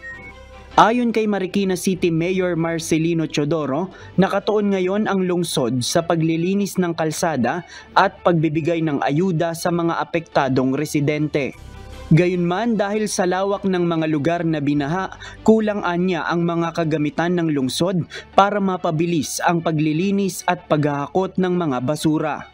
Ang malaking challenge ngayon sa atin ay yung clearing na ginagawa, clearing ng mga debris, ng mga siltation ng ano ng uh, na nadulot ng uh, pagbaha. Uh, logistics, yung mga equipment na gagamitin, taong bilang ng taong kailangan. So dami ng lugar na lumubog at pati yung mga sirang gamit ng mga kababayan natin. Uh, ito yung uh, dinidispose nila ngayon. Ayon kay Mayor Marcy, nasa higit 30,000 na mga residente ng lungsod ang labis na naapektuhan ng pagbaha at tinatayang nasa halos 50 million pesos ang kabuoang pinsalang iniwan ng pagbaha. Samantala apektado ang maliliit na kabuhayan ng ilang mga residente sa Barangay Tumana matapos itong tangayin ng baha. Ang sari-sari store na kabuhayan ni Nora Brusa paghupa ng baha, wala ng panindang nakadisplay. Sinubukan pa nilang iangat ang mga paninda sa ikalawang palapag ng kanilang bahay pero inabot pa rin ng tubig. Pandugtongan niya sana sa kita ng kanyang mister ang arawang kita niya sa maliit na tindahan. Kaya naman daing niya na matulungan sana sila na mabigyan ng pangpuhunan lalo't kinakailangan niya ng dagdag na kita dahil papasok na muli sa eskwela ang kanyang mga anak. Kung may tumulong, salamat. Dahil? Pal, ano, pang dagdag din sa pamilya dahil yung asawa ko wala namang ano, kaunti lang sa ng asawa ko eh. Si Jing Andrada naman mga gamit sa pagtitinda ng fishball at iba pang merienda ang tinangay ng baha.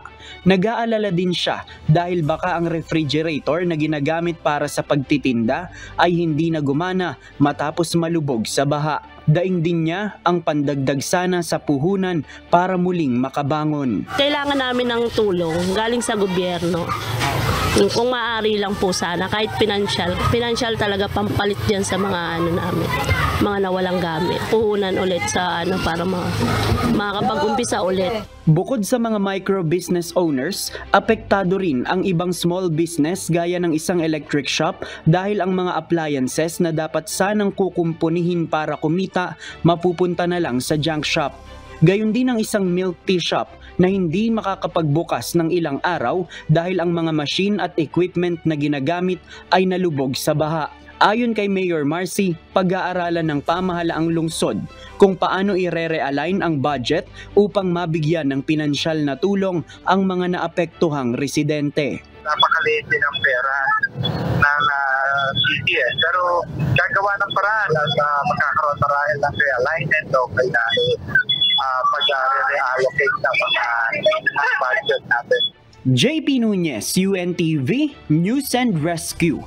Diyos ang aming sandigan, serbisyo publiko ang aming pinahahalagahan. Umabot na sa 21 ang nasawi dahil sa pananalasa ng bagyong Karina batay sa ulat ng Philippine National Police. Marami sa mga ito ang galing sa NCR, Region 3 at Region 4A. Karamihan pagkalunod ang sanhi ng mga nasawi sa NCR. Narito ang report ni Ryan Lacanlale.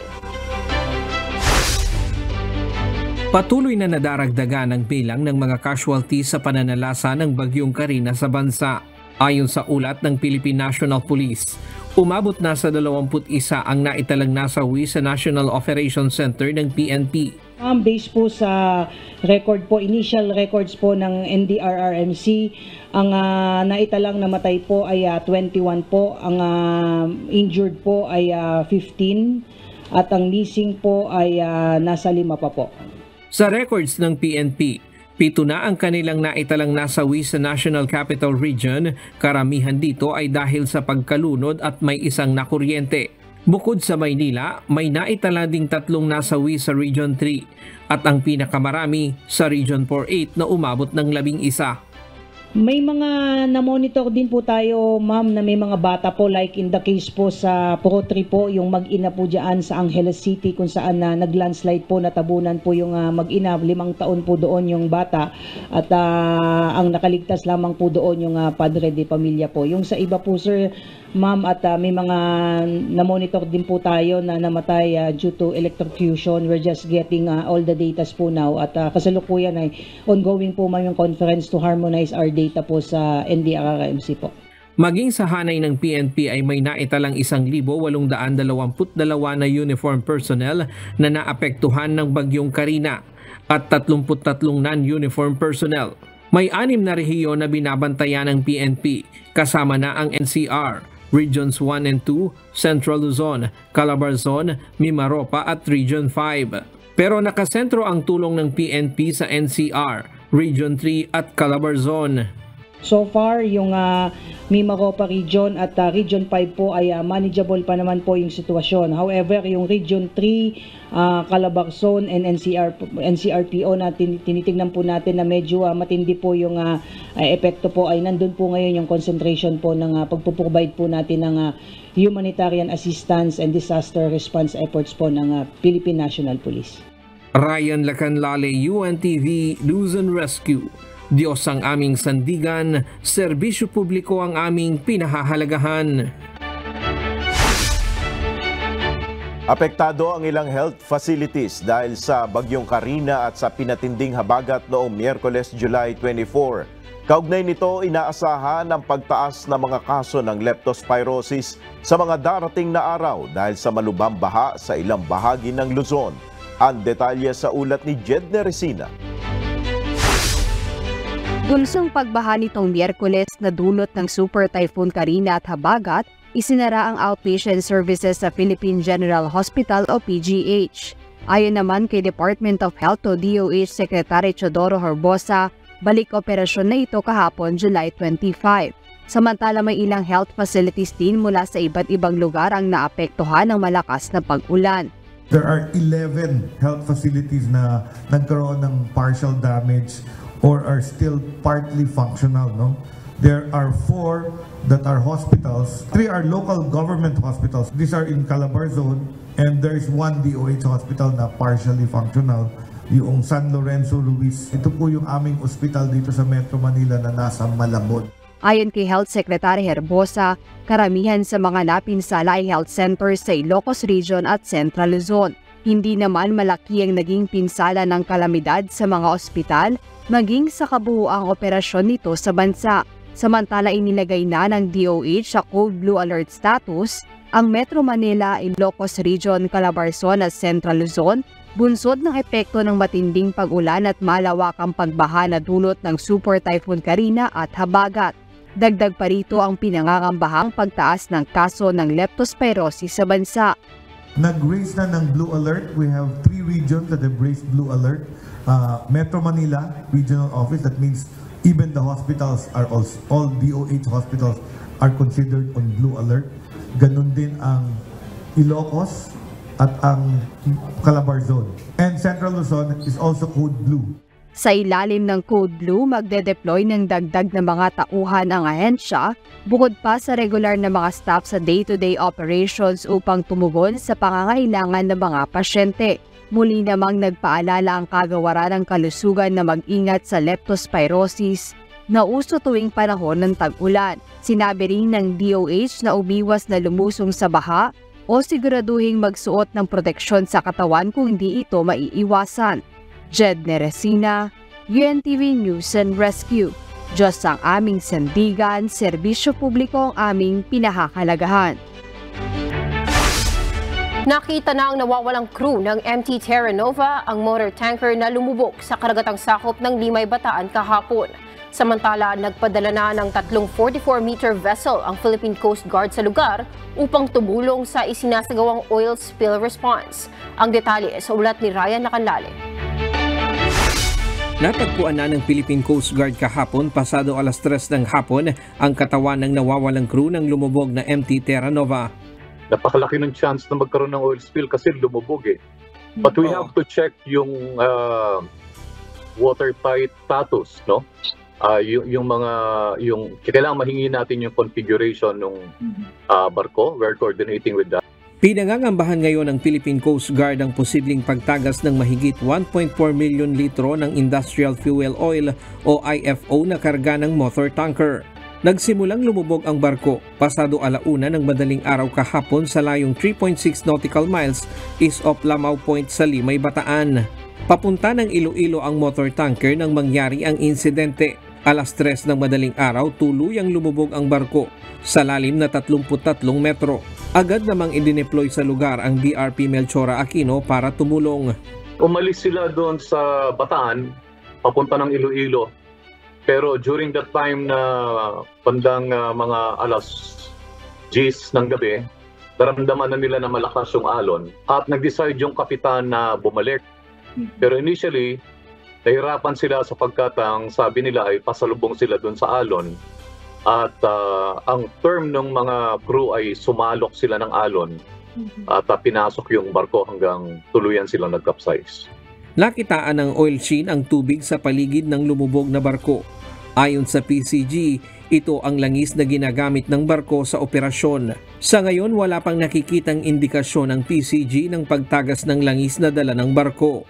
Bagamat mababaw lamang ang nilubugan ng barko, kumpara sa pinaglubugan ng MT Princess Empress sa Nauhan Oriental Mindoro noong nakaraang taon na naging sanhi ang malakas na pressure sa ilalim ng dagat kaya naglik ang mga tangke nito at tumagas ang langis. Hindi naman magpapakampante ang PCG sa incidenting ito sa posibleng pagtagas ng langis.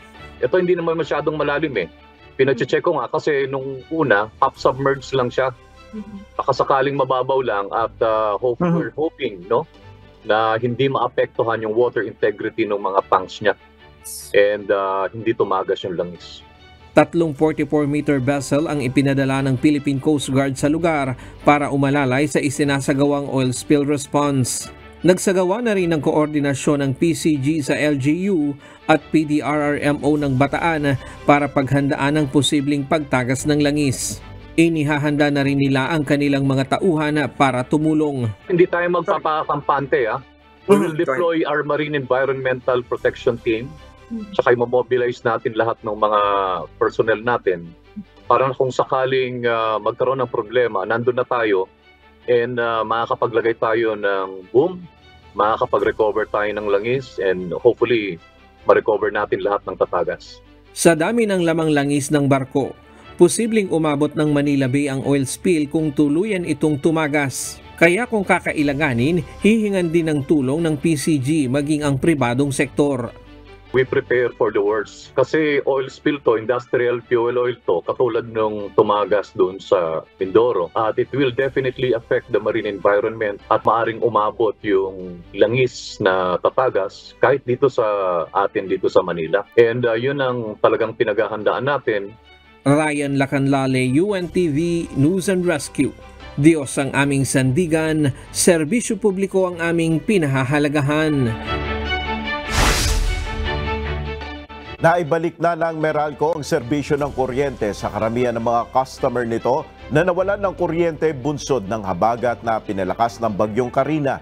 Sa taya ng power distributor, bukas ay magkakaroon na rin ng kuryente sa ilan pang lugar na nakararanas pa rin ng brownout. Ang detalye sa ulat ni Asher Kadapan Jr. Tiniyak ng Meralco ang walang tigil nilang pagkukumpuni ng mga napinsalang linya ng kuryente at pasilidad bunsod ng habagat na pinalakas pa ng bagyong Karina. Umabot sa mahigit 600,000 customers ng naturang power distributor ang nawalan ng kuryente noong Martes, July 24. Sa huling tala ng Meralco kahapon, July 25, bumaba na ang bilang na ito sa nasa 200,000 customers. Karamihan sa mga ito ay mula sa Metro Manila, Bulacan at Rizal. Ayon kay Meralco spokesperson Josel Dariaga, umaasa silang bukas ay maibabalik na rin ang serbisyo ng kuryente sa iba pang mga customer. Siguro hopefully po in the next two days. Um, magmamapping up operation na ho kami uh, marahil bukas at uh, para dun sa mga uh, isolated areas o isolated incidents ng damages sa facilities namin. So yun po yung tatrabahuhin natin. Simula na po yung work natin 6 years last night. Humingi naman ng pangunawa ang Meralco sa antala sa serbisyo ng kuryente sa ilan pang customer. Binigyang diin ng power distributor na prioridad nila ang kaligtasan hindi lang ng mga customer kundi maging ng kanilang mga tauhan. Hindi po kami magre-restore ng kuryente sa mga lugar na delikado pa pong ng serbisyo ng kuryente. Uh, our crews are out there working. Um, inaantabayanan na lang bu- bumaba at humupa yung baha sa mga lugar na kasulukuyan ay mataas pa rin ang tubig. Kasabay niyan yung pagtatrabaho dun sa aming mga damage facilities sa mga areas na naapektuhan din ng bagyo. Para sa mga Meralco customer na wala pang kuryente, maaring makipag-ugnayan sa kanila sa pamamagitan ng pagpapadala ng mensahe sa kanilang mga social media page o phone numbers na 0920-971-6211 o 917-551-6211. Maaari rin tumawag sa Meralco hotline number 16211 o 8631-1111. Asher Kadapan Jr., UNTV News and Rescue, Diyos ang aming sandigan, serbisyo publiko ang aming pinahalagahan. Nananatili pa rin ang mga evacuee sa Maynila na apektado ng nakaraang matinding pagbaha sa lugar. Ayon sa Manila Department of Social Welfare, kailangan ng mga ito ng pagkain, inuming tubig at iba pa. Narito ang report ni Dante Amento. Mahigit apat na raang pamilya o 20,000 mga residente sa lungsod ng Maynila ang naapektuhan ng matinding pagbaha. Marami sa mga ito ang nananatili pa rin sa evacuation centers. Patuloy naman ang pamimigay ng Manila Department of Social Welfare o MDSW ng food boxes o relief goods tulad ng bigas, dalata, hygiene kits. Tuloy-tuloy ang repacking kasi sino ba naman mag-aakala na wala naman signal number sa Manila tapos biglang masasalanta mahigit apat na libong pamilya.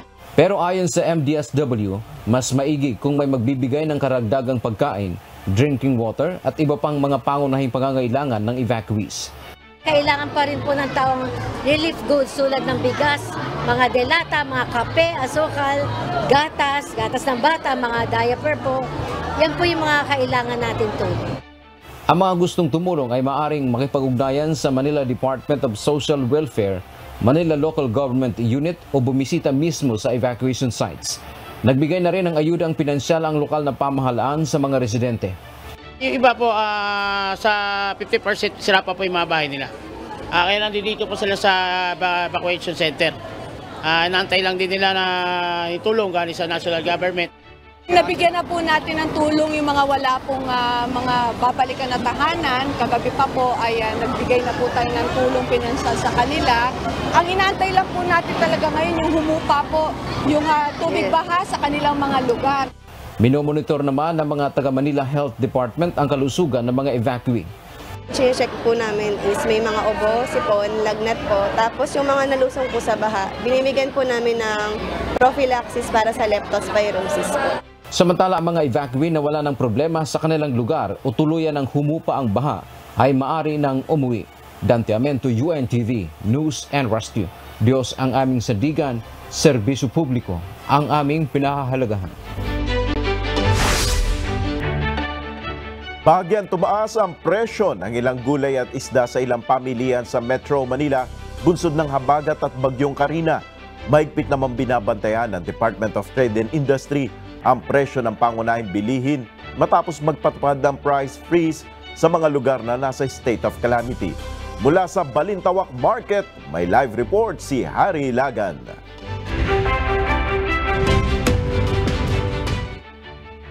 Harry, magkano ang uh, itinaas ng gulay at isda ngayon? Good morning! Good morning, good morning, good morning, Kuya. Good morning, Nel. Sa pag-ikot-ikot nga natin sa ilang pamilya sa Metro Manila ay tumaas ng 10 pesos hanggang 80 pesos ang presyo ng ilang mga gulay sa Metro Manila. At uh, 10 pesos naman hanggang 120 pesos ang tinaas sa isda.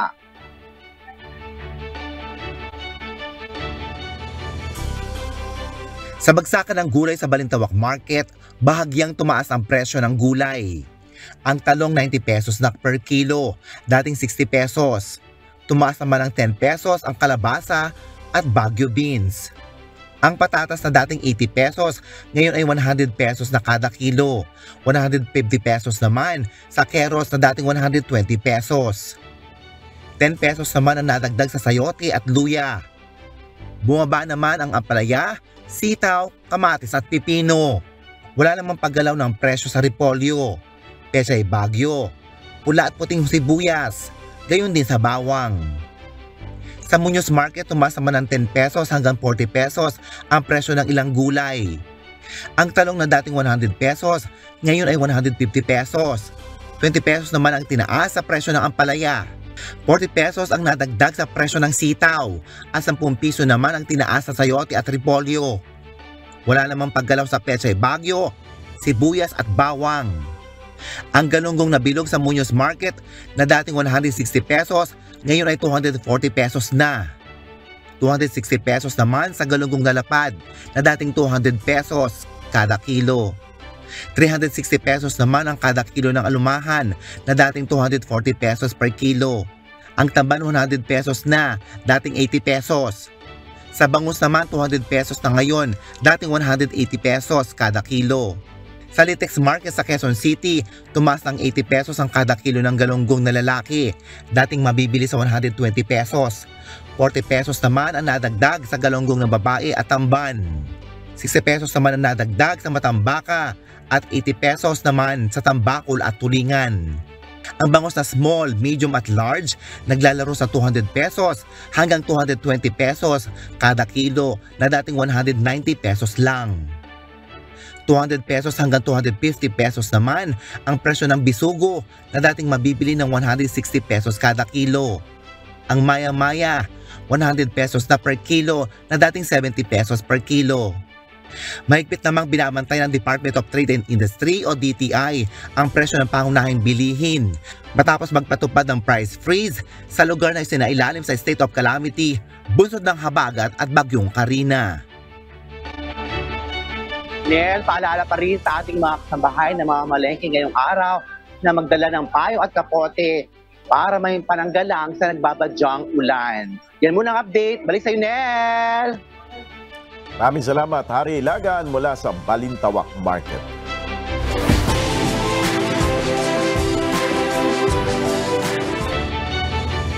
Umabot na sa mahigit anim na raan ang active wildfire sa Western Canada. Nangangamba naman ang mga oil production companies sa epekto nito. Narito ang live report ni Charles Corpus mula sa Canada.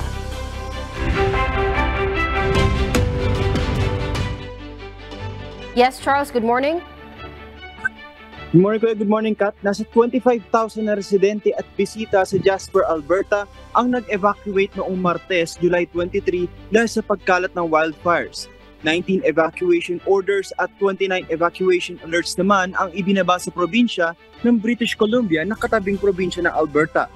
Sa kasalukuyan, mayroon ng 433 active wildfires ang naitala sa British Columbia at 176 active wildfires naman sa Alberta. Ayon sa Provincial Wildfire Emer- uh, Agency, ngayong linggo ito ay tumama sa British Columbia ang 58,000 lightning strikes na naging sanhi ng pagdami ng wildfire sa lugar. Samantala, gumagamit naman ng sprinklers ang Government Oil Production Company na Trans Mountain Pipeline upang hindi maantala ang produksyon nito ng krudo. Ang ibang oil production companies naman ay nagsagawa rin ng safety measures dahil sa paglapit ng wildfire sa kanilang mga kumpanya. Balik sa iyo, Kat. Maraming salamat Charles Corpus live mula sa Edmonton, Canada.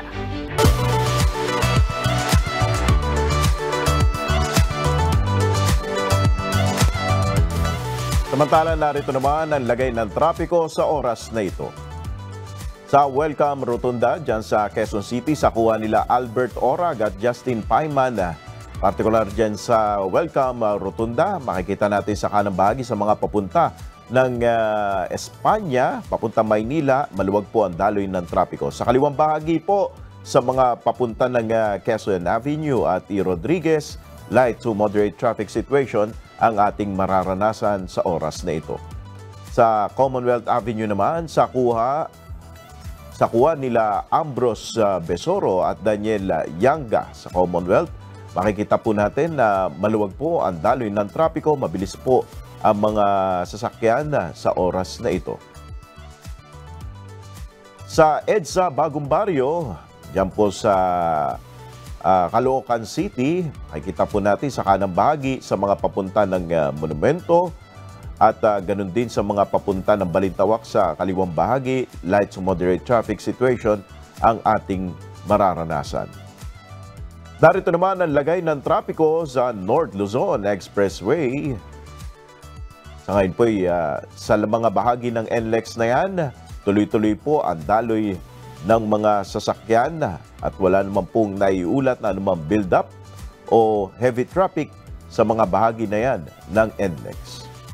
Sa drone video naman ni Jimmy Cordillera dyan sa Pardo Service Road dyan sa Cebu City, maluwag po ang daloy ng trapiko sa magkabil oh, magkabilang lane papuntang Basak at Talisay, Cebu City. At yan ang ating traffic update sa oras na ito.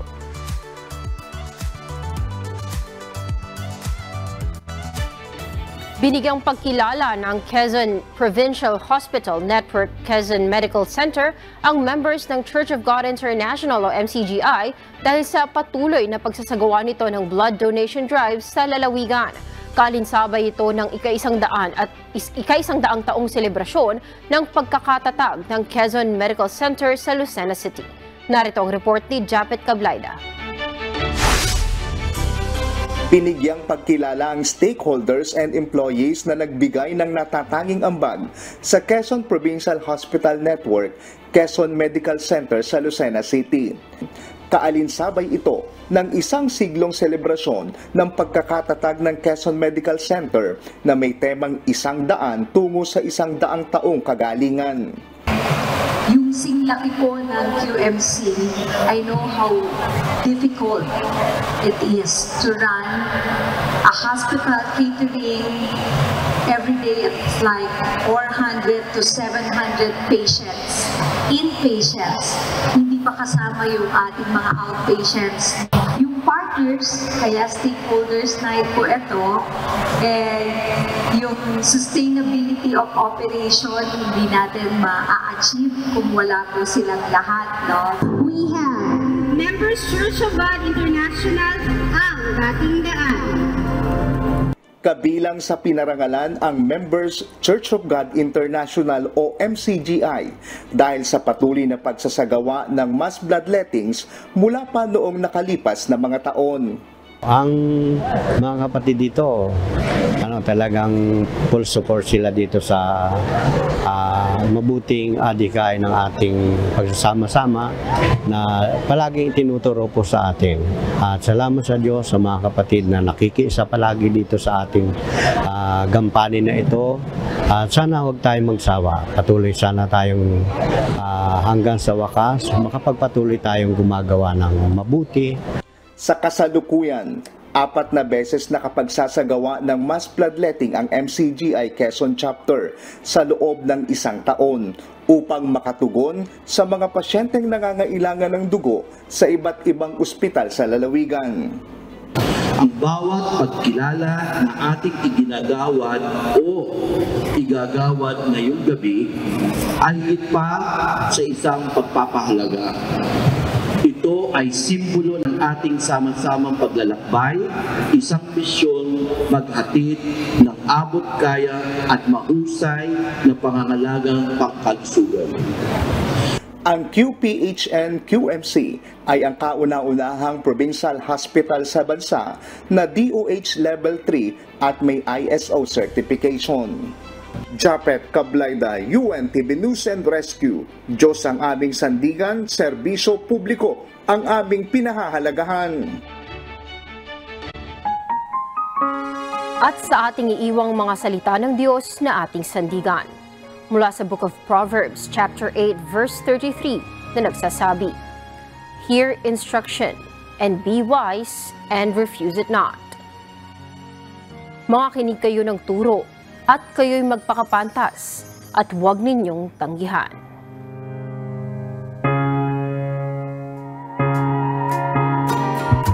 At yan ang ating naging balitaan sa oras na ito. Samantala, balikan natin sina Joshua at Tini para naman sa ating good news.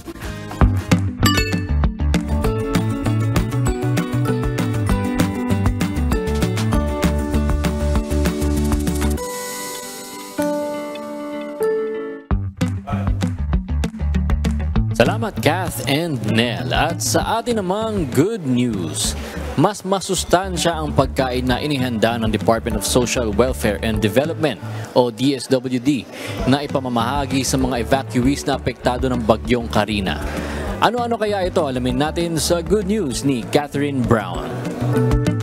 Nakalabas na ng Philippine Area of Responsibility ang bagyong Karina pero meron pa rin ilan sa mga kababayan natin ang nasa mga evacuation center. Ayon sa Department of Social Welfare and Development, patuloy ang pagbibigay nila ng pagkain sa mga evacuees. Kabilang dito ang FFP o Family Food Packs na inihanda ng DSWD para sa agarang pagtugon sa pangangailangan ng mga apektado ng bagyo at ang tinatawag nilang ready-to-eat meals na may mataas na nutrition value. Ayon sa kagawaran, ito ay upang maagapan ang mga kaso ng malnutrisyon sa mga bata at upang mailayo ang mga ito sa pagkakasakit. Ayon sa Department of Science and Technology o DOST, ang mga ready-to-eat meals ay mayroong iron fortified rice, Nutriban na may vegetable flavor, pansit canton na may kalabasa at rice mungo instant blend. Ang kombinasyon ng mga pagkain ito ay batay sa National Nutrition Survey na isinagawa ng DOST. Catherine Brown at ito ang good news. Nag-alok naman ang calamity loan ng Social Security System sa lahat ng miyembro nito na biktima ng bagyong Karina. Ano kaya ang paraan para makapag-apply ng naturang financial support? Panoorin natin sa good news na hatid ni Mon Hokson. Magandang balita sa lahat ng SSS member dahil maaari kayong makapag-apply ng calamity loan. Lahat ng eligible member ng SSS ay pwedeng makakuha ng loan katumbas ng kanilang buwan ng sahod o di bababa sa 20,000 pesos. Ang loan ay maaaring bayaran ng installment sa loob ng dalawang taon na may annual interest na 10%. Narito ang kwalifikasyon ng mga SSS member na maaaring makakuha ng calamity loan. Nakapaghulog na sa loob ng 36 na buwan at nakabayad na ng 6 na kontribusyon sa nakalipas na 12 buwan. Dapat ay nakatira sa officially declared calamity area. May edad 65 taong gulang pababa. Walang anumang final benefit claim gaya ng permanent disability o retirement. At walang utang sa nakaraang mga loan sa SSS. Ang lahat ng interesado ay maaaring mag-apply online sa SSS website at magtungo sa e-services section at i-click ang apply for calamity loan. Lahat ng aprobadong loan ay papasok sa UMID ATM card o anumang aktibong bank account. Mon Hokson at ito ang good news. At yan ang ating mga good news sa araw na ito.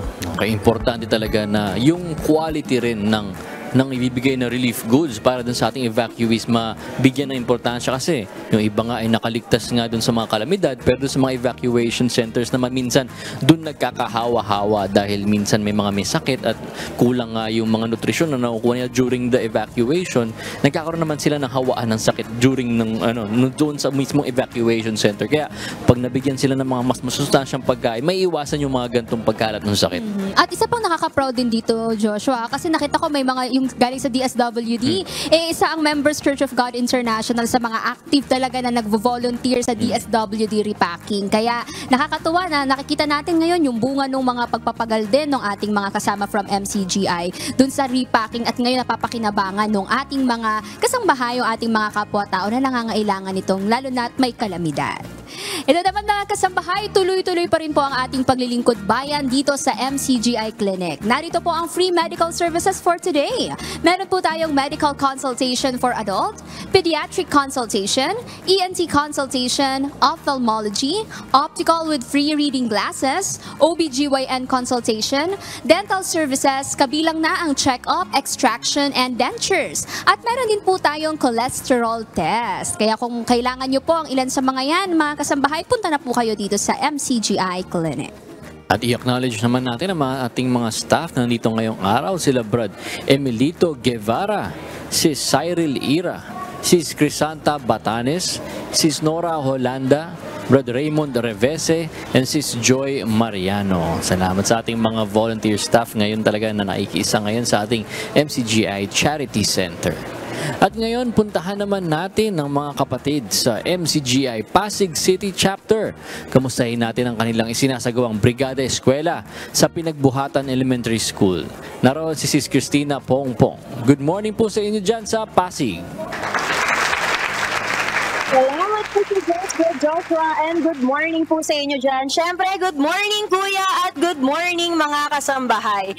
Naririto po tayo sa Pinagbuhatan Elementary School, Pasig City upang magsagawa po ng ating Brigada Eskwela. Kasama po natin ang mga kapatid po natin sa MCGI or Members Church of God International. At dahil nga po no, itong mga nakaraang araw ay nakaranas po tayo ng matinding pagulan at pagbaha. Kaya naman po ang mga kapatid po natin sa MCGI ay nagtulong-tulong upang po makapag-provide ng mga cleaning materials gaya po ng trash can, trash bin at iba pa pong mga gagamitin para po sa ating Brigada Eskwela. Meron din naman po tayong mga school supplies na inihanda para po sa ating mga mag-aaral at mga guro gaya po ng mga chalk, whiteboard marker, eraser at iba pa pong pwede nilang gamitin sa darating po na pasukan. At ngayon na, nga po ay kasama po natin sa atin din ang Brigada Eskwela School Coordinator. Tawagin po natin si Miss Jahizel Ginto. So hello po ma'am, good morning po. Yes po, good morning po ma'am and welcome po sa ating Good Morning Kuya. So ano naman po yung masasabi niyo po dahil po ngayon po ay ah, nakapagsagawa po tayo ng Brigada Eskwela po para po dito po sa Pinagbuhatan Elementary School. Um, Unang-una po, ma- nagpapasalamat ang buong Pinagbuhatan Elementary School sa patuloy na pagsuporta ng MCGI Pasig City sa dito nga po sa school namin na ah, every year talaga lagi po namin kayong nakakasama dito. So maraming salamat po in behalf po Pinagbuhatan Elementary School. Maraming maraming salamat po. Okay, maraming maraming salamat po sa Diyos, Ma'am Jahizel po. At yung... Okay. Opo. At ina-acknowledge po natin ang presence po ng ating pong school principal, um, si Ma'am Josephine Z. Makawili po. So, hello po Ma'am Josephine. Good morning po sa inyo. At kasama rin naman po natin syempre ang mga kapatid natin sa MCGI at naghanda po sila ng almusal po para po sa ating mga teachers and staff dito po sa Pinagbuhatan Elementary School. So, meron po tayo masarap na lugaw at champurado na inihanda po para po sa bawat isa. At mula po dito sa Pinagbuhatan Elementary School, Pasig City, kami po ay bumabati ng MCGI Cares, MCGI Shine. To God be the glory. Good morning, Kuya! Ayan, salamat po sa Diyos at ito po, ito po ang latest update dito po sa Pinagbuhatan Elementary School. Back to you po, Sis Tini and Brad Joshua. Alright, salamat sis Christina Pongpong sa Pinagbuhatan, Pasig City. At maraming salamat din po kay Miss Jahazel Ginto sa Brig- ah, Brigada Eskwela po nating coordinator ng Pinagbuhatan Elementary School. Joshua, mga kasambahay, nitong Miyerkules, nakaranas ng malawakang pagbaha ang Metro Manila at iba pang lugar sa bansa dahil sa bagyong Karina at Habagat. Marami ang mga kababayan nating na-stranded at nagpasyang lumusong sa baha. Pero may kaakibat po kasing panganib sa kalusugan ng paglusong sa baha, mga kasambahay, at posible kasi tayong makakuha rito ng sakit na leptospirosis. Kaya yan ang tatalakayin ngayong umaga ng ating internal medicine physician na si Dr. Albert Jimenez sa ating Usapang Pangkalusugan.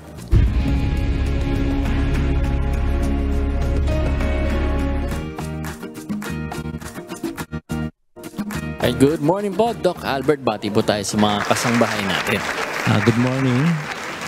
Ah, ngayong panahon na naman ng tagulan at marami tayong exposure sa iba-ibang sakit, ah, na pili naming pag-usapan itong leptospirosis kasi malaking panganib ang pwede nitong idulot sa ating ah, katawan. No? Pwede natin itong dumating sa point na pwede nating ikamatay ito. Ay, okay, nakakamatay ang leptospirosis. Pero Doc, umpisan po natin, paano po ba nakokontract or nakukuha yung leptospirosis? Kasi isa sa mga pinaka-common na dahilan na alam natin, usually sinasabi, sa baha nakukuha sa tubig na may leptospirosis. Pero ano po ba talaga yung lahat ng possible ways para mahawa, makakuha ng leptospirosis ang isang tao? Ah, ang baha kasi eh pwedeng makontaminate ng ihi ng daga, no? Kasi ang kadalasan ng infection na to ay nasa daga, no, sa mga rodents, no. Kaya pagka ano, ah, bumaha, usually nagtatago sila sa mga ilalim ng sa mga kanal, no. So pwede nilang ikamatay yun pag, pag napaihi sila tapos yung bacteria na ano na leptospira bacteria, ah, spirochete ito eh. Ah, parang related siya sa bacteria ng syphilis. Okay. Pareho sila ng Mhm. itsura, no? Spirochete, no? Kaya yung mga ah, pag pumunta yung bacteria doon sa katawan natin, dumaan sa sugat or nainom ng ng lumusong sa baha, pwede siya magkasakit ng leptospirosis. Pero Doc, curious po ako, ito po bang leptospirosis talagang yung mga daga lang yung pwedeng makapag, kumbaga yung maging carrier nito tapos ihahawa dun sa tubig or dun sa baha kapag lumusong tayo sa baha? Ah, pwede rin ng ibang hayop. Pwede rin nga rin yung aso, pusa. ano, pwede rin. Talagang masikat lang po itong Oo. mga daga. Oo, sila lang kasi talaga ang ano, ah, nandoon sa sa kanal. Sila yung nabubuhay doon sa ilalim. Okay. Pero Dok, sa mga tao naman na nagkaroon ng leptospirosis, ano naman yung napapansin po natin mga sintomas kapag meron ng leptospirosis ang isang tao? Hmm, kadalasan kasi parang trangkaso lang eh. Ay, okay. Oo, pwede rin siyang may sore throat. Masakit ang katawan. Tapos maya maya namumula na yung mata. Oo. Pero very prominent yan ay yung sumasakit yung muscles niya. Particularly dito sa sa binti. Oo. Dahil may meron po bang dahilan dahil sa binti po ba pumasok yung leptospirosis bacteria Ay, hindi or naman. hindi naman related po doon? Hindi naman. Ah, Manifestation lang. Yung binti po lang po Pwedeng talagang sumakit mauna. din sa likod. Okay. No? Kaya lang pagka yung tinatawag namin calf tenderness, prominent yon. So, para maagapan mo siya, kailangan meron kang high index of suspicion. Ah, once na may lagnatin, ah, wag mo siyang i-dismiss as ordinary environment, in- ordinary viral infection lang kasi kala mo may sore throat lang, no? Pwede mo rin siyang entertainin lagi, no? Kasi pagka nahuli ka, doon nagkakaroon ng complication. Kasi sabi nyo nga po, bacterial siya. So, kunyari may mga, may mga kasambahay po tayo na nagkaroon ng gantong sintomas. Meron na pala siyang leptospirosis. Tapos hindi naagapan kasi iniisip na nga po ng iba na lagnat lang. Eh, usually yung mga lagnat minsan, Dok, parang pinapalipas lang na itutulog lang, ipapahinga. Kapag maulan, yun yung lagi nila Diba? sinasabi Oo. na, ay normal lang magkalagnat. Oo, nilalagnat Oo. lang. Pero hindi natin alam lep- leptospirosis pala. Ano po ba yung mga risk kapag po hindi ito nagamot? Ah, pagka kasi dumating na sa point na nanilaw na yung pasyente, ah, maaring kumalat na siya, pumunta na sa liver, no? Jaundice ang tawag doon, naninilaw Okay. siya, tapos yung hirap na siyang umihi, kumukonti yung ihi. Ah, pag kumukonti ng ihi, apektado na ang kidney, ganyan. Mabilis siyang kumalat. Okay. Kaya kailangan agad-agad dadadala siya sa doktor para mabigyan ng IV antibiotics. Antibiotics kailangan. Dok, yung sinasabi niyo pong mabilis na pagkalat, may i-expect po kami na like oras? Talagang ito yung time frame na Oo. kapag kailangan in 5 hours or 3 hours kailangan ma Oo. Or ma-address ano na talaga immediately. Kailangan madala ka agad. Kasi in, in a matter of hours, pwede maging acute yung kalagayan niya. Mhm. Pwede mag-deteriorate ang pasyente. Mabilis Kaya, pala. kaya eh, yung antibiotics kasi hindi agad tumatalab eh. Bibilang pa rin ng oras kaya preferred na ang IV pagka naninilaw na. Okay. Pero ano pa rin, ah, mayroon din namang mild manifestation, mi- mild ah, presentation, no? Nagre-range yan from mild, moderate to severe, no?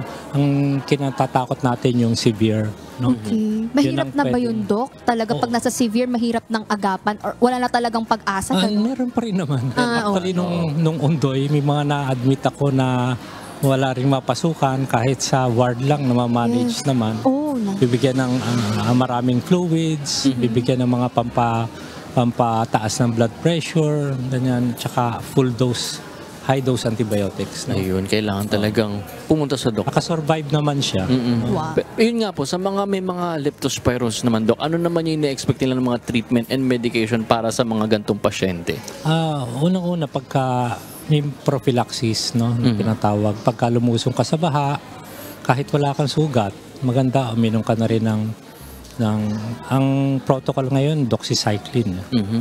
Before pa po Oo, yan. Before pa lang. Ang pagka pagkalusong mo, Mhm. pagka hindi mo naiwasan napalusong ka, iinom ka na agad. Kung wala ka naman sugat, siguro one dose lang ng ah, two capsules Ah, a day ng 100 milligrams doxycycline sapat na.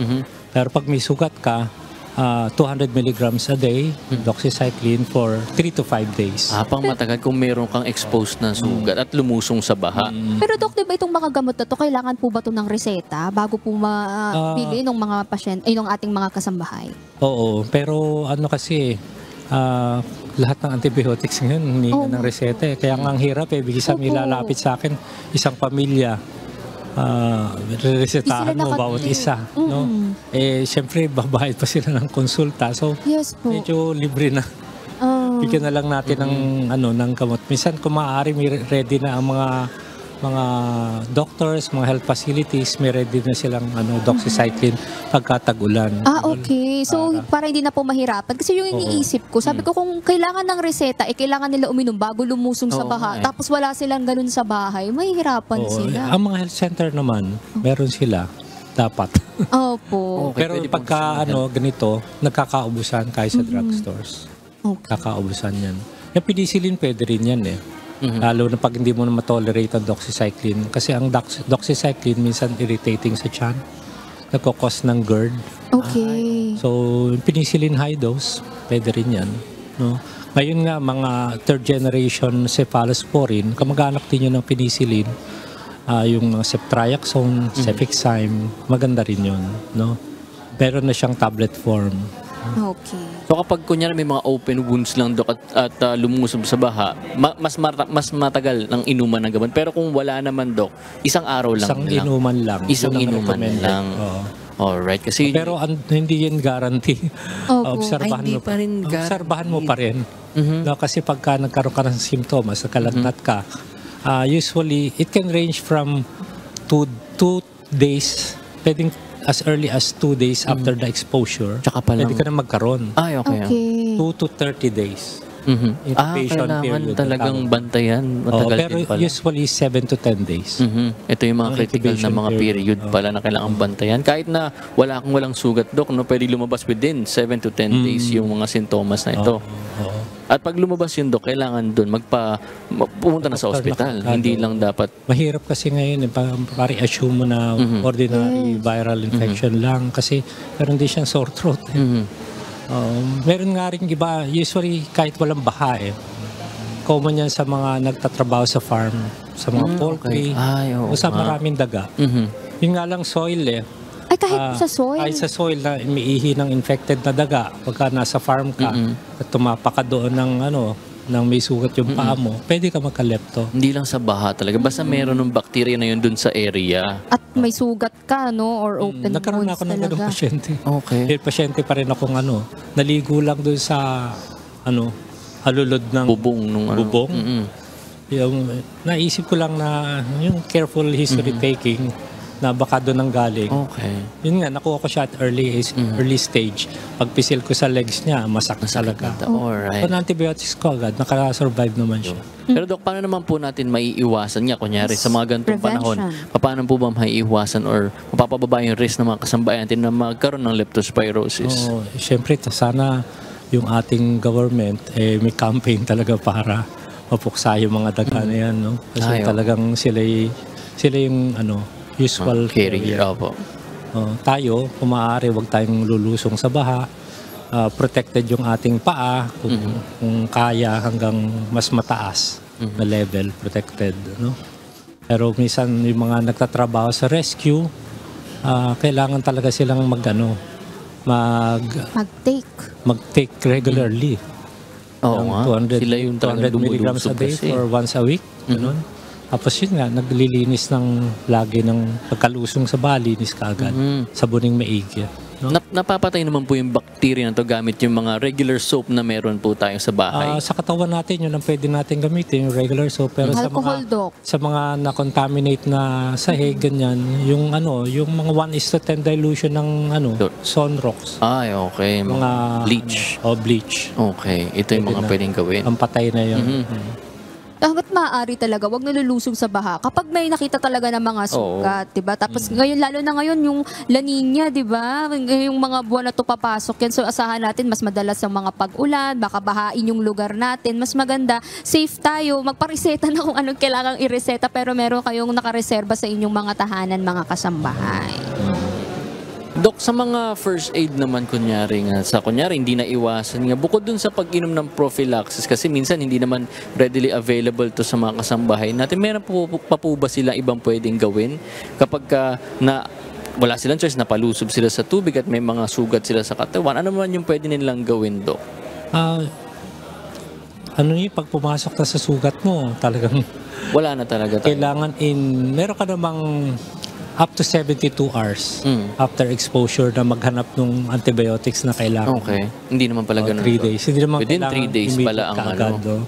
Pero yun nga, yung sabunin mo siya, malaking Mhm. bagay na rin yun. Pero Dok, once na pumunta na po sa ospital ang pasyente, may mga tests po ba na gagawin sa kanya? Like, mga pa- para pa ma-diagnose Oo, talaga na leptospirosis. may leptospirosis siya maliban po dun sa mga nabanggit nyo kanina ng mga physical manifestation. No, merong ano, merong blood test naman diyan. Okay. Uh, leptospiral titer. Uh, pwede masukat yung ano, yung sa dugo mo kung merong kanon, no?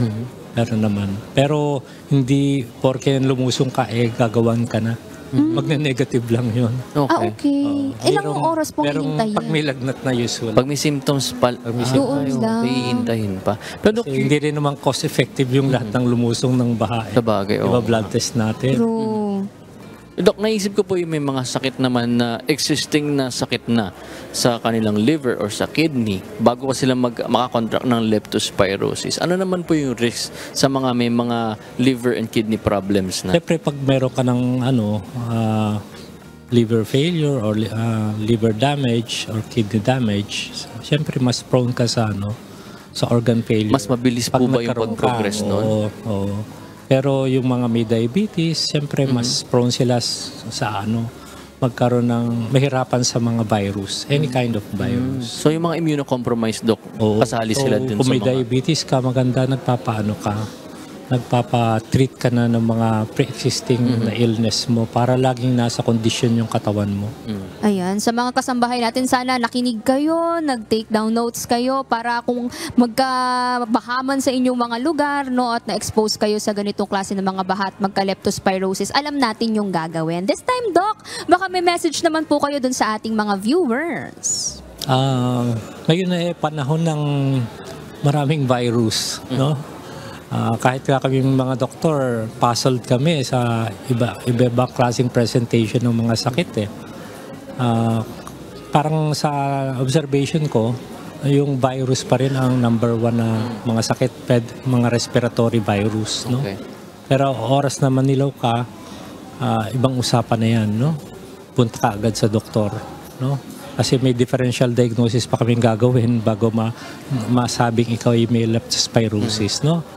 Nandiyan pa rin yung HEPA A, HEPA B, Yes. Oo nga. ah, typhoid, no? Nandiyan pa rin yan. Alright, mag-ingat tayo ngayon tag-ulan talaga. May Mag-ingat tayo. maraming mga sakit din talaga ang Oh, pwede natin makuha marami, during this oh. season. Tsaka ano eh, ang dami na kasing tao dito sa atin eh. Mhm. Congested na ang ating lugar, Mhm. lalo na dito sa Metro Manila. So paglaganap ng sakit, mabilis. Yes, kaya dapat doble ingat tayo mga kasambahay. Alright. Thank you so much po, Dr. Albert Jimenez, for joining us today. Thank you rin. Kaya mga kasambahay na pag-usapan natin ang sakit na leptospirosis na maaari natin makuha sa paglusong sa baha. Pero bukod sa leptospirosis, kapag mayroong baha, ay tumataas din ang posibilidad ng transmission ng mga communicable diseases gaya na lang ng cholera. Maaari kasing makontaminate ng baha ang ating water supply. Pero paano natin malalaman kung tinamaan na ba ng cholera ang isang tao at ano ang dapat na gawin? Panoorin po ninyo to.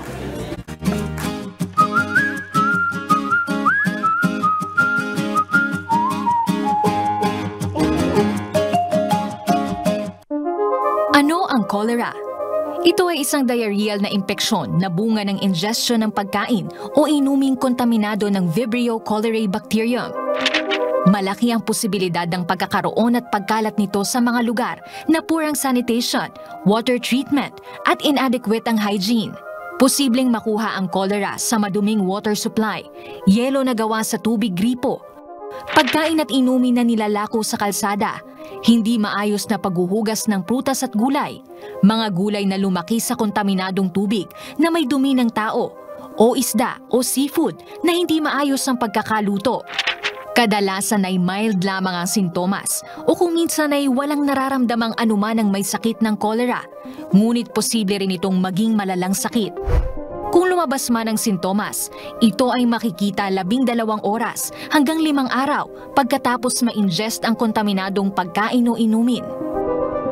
Kabilang sa mga sintomas nito ay diarrhea, pagsusuka, dehydration, mabilis na tibok ng puso, low blood pressure, pagkairita, labis na pagkauhaw, pulikat, at balat na bumaba ang elasticity. Ang cholera bacteria ay nasa dumi ng may sakit sa loob ng isa hanggang sampung araw pagkatapos ma-infect, kakitaan man sila ng sintomas o hindi. Ito ay may potensyal na maka-infect din naman sa iba. Kung hindi magagamot, maaari itong ikamatay ng may sakit sa loob lamang ng ilang oras. Posible ring maging komplikasyong dala ng sintomas ng cholera ay low blood sugar, low potassium levels, at kidney failure. Ang pangunahing treatment sa cholera ay oral rehydration therapy upang mapalitan ng fluid at salts na nawala sa katawan dahil sa diarrhea. Kung malala ang dehydration, kinakailangan ng pasyente ng intravenous fluids. Kung minsan naman ay nireresitahan ng antibiotics ang mga may sakit nito. Upang maiwasan ang pagkalat ng bakterya na sanhi ng cholera, ang mga dumi ng may sakit ay dapat itapon ng maayos upang masiguro na hindi ito makakakontaminate ng anumang bagay na malapit dito. Ang mga nag-aalaga sa cholera patients ay dapat maghugas ng maigi ng kamay pagkatapos humawak ng kahit anong kontaminado ng dumi ng may sakit. Siguraduhin ding malinis ang kakainin at iinumin. Laging maghugas ng kamay bago kumain o humawak ng pagkain. Umiwas sa mga hilaw o undercooked na karne at seafood at anumang pagkain kontaminado ng langaw o nahawakan ng maduming kamay. Now you know!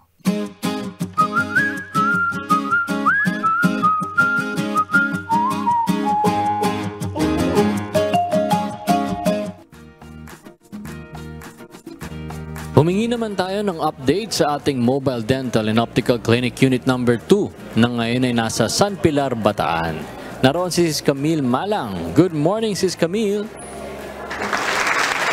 Yes, good morning, Brad Joshua. Good morning, Kuya. And good morning po sa ating mga kasambahay. Ngayong araw po ay dumayo na po ang ating Mobile Dental and Optical Clinic dito po sa Diwa, Pilar, Bataan. Kung saan ito na po ang ating 10th location sa ating second week ng pag-ikot ng mobile clinic sa probinsya po ng Bataan at Zambales. Kahapon nga lamang po ay nakapag-render din po tayo ng services mula po sa ating bayan, mula po sa Mariveles, Bataan, kung saan 53 po ang ating nabigyan sa dental service, 103 sa optical at 16 naman po sa ating free haircut. At kung makikita po natin ngayon dito sa ating venue ang ating mga kasama po na uh, mga patients ngayon, bagamat paulan-ulan ay maaga pa lamang po ay nakapila na po sila dito sa ating venue para po makapagpa-register. Kaya naman para rin po sa lahat ng mga nandito sa ating staffs at maging sa ating mga kababayan na bisita ay naghanda po ang ating mga kasama ng simpleng almusal. Ayan, available po ang ating libreng lugaw at syempre po libre din po meron din po tayong nakaprovide po ngayon na mainit na kape. At sa mga ganitong proseso naman po sa mga registration and sa vital signs, habang ongoing din po yan, meron din po tayong mga staff na nag-guide or nakaantabay po sa ating mga kababayan. At ayan po, Brad Joshua, sa pag-check din po ng ating optometrist, kung malabo na po ang mata at nangangailangan na po ng salamin, ay meron din po tayong free glasses or free eye glasses na provided po mula sa ating optical service area. Agad po nila yan na pwedeng i-claim dito sa ating venue.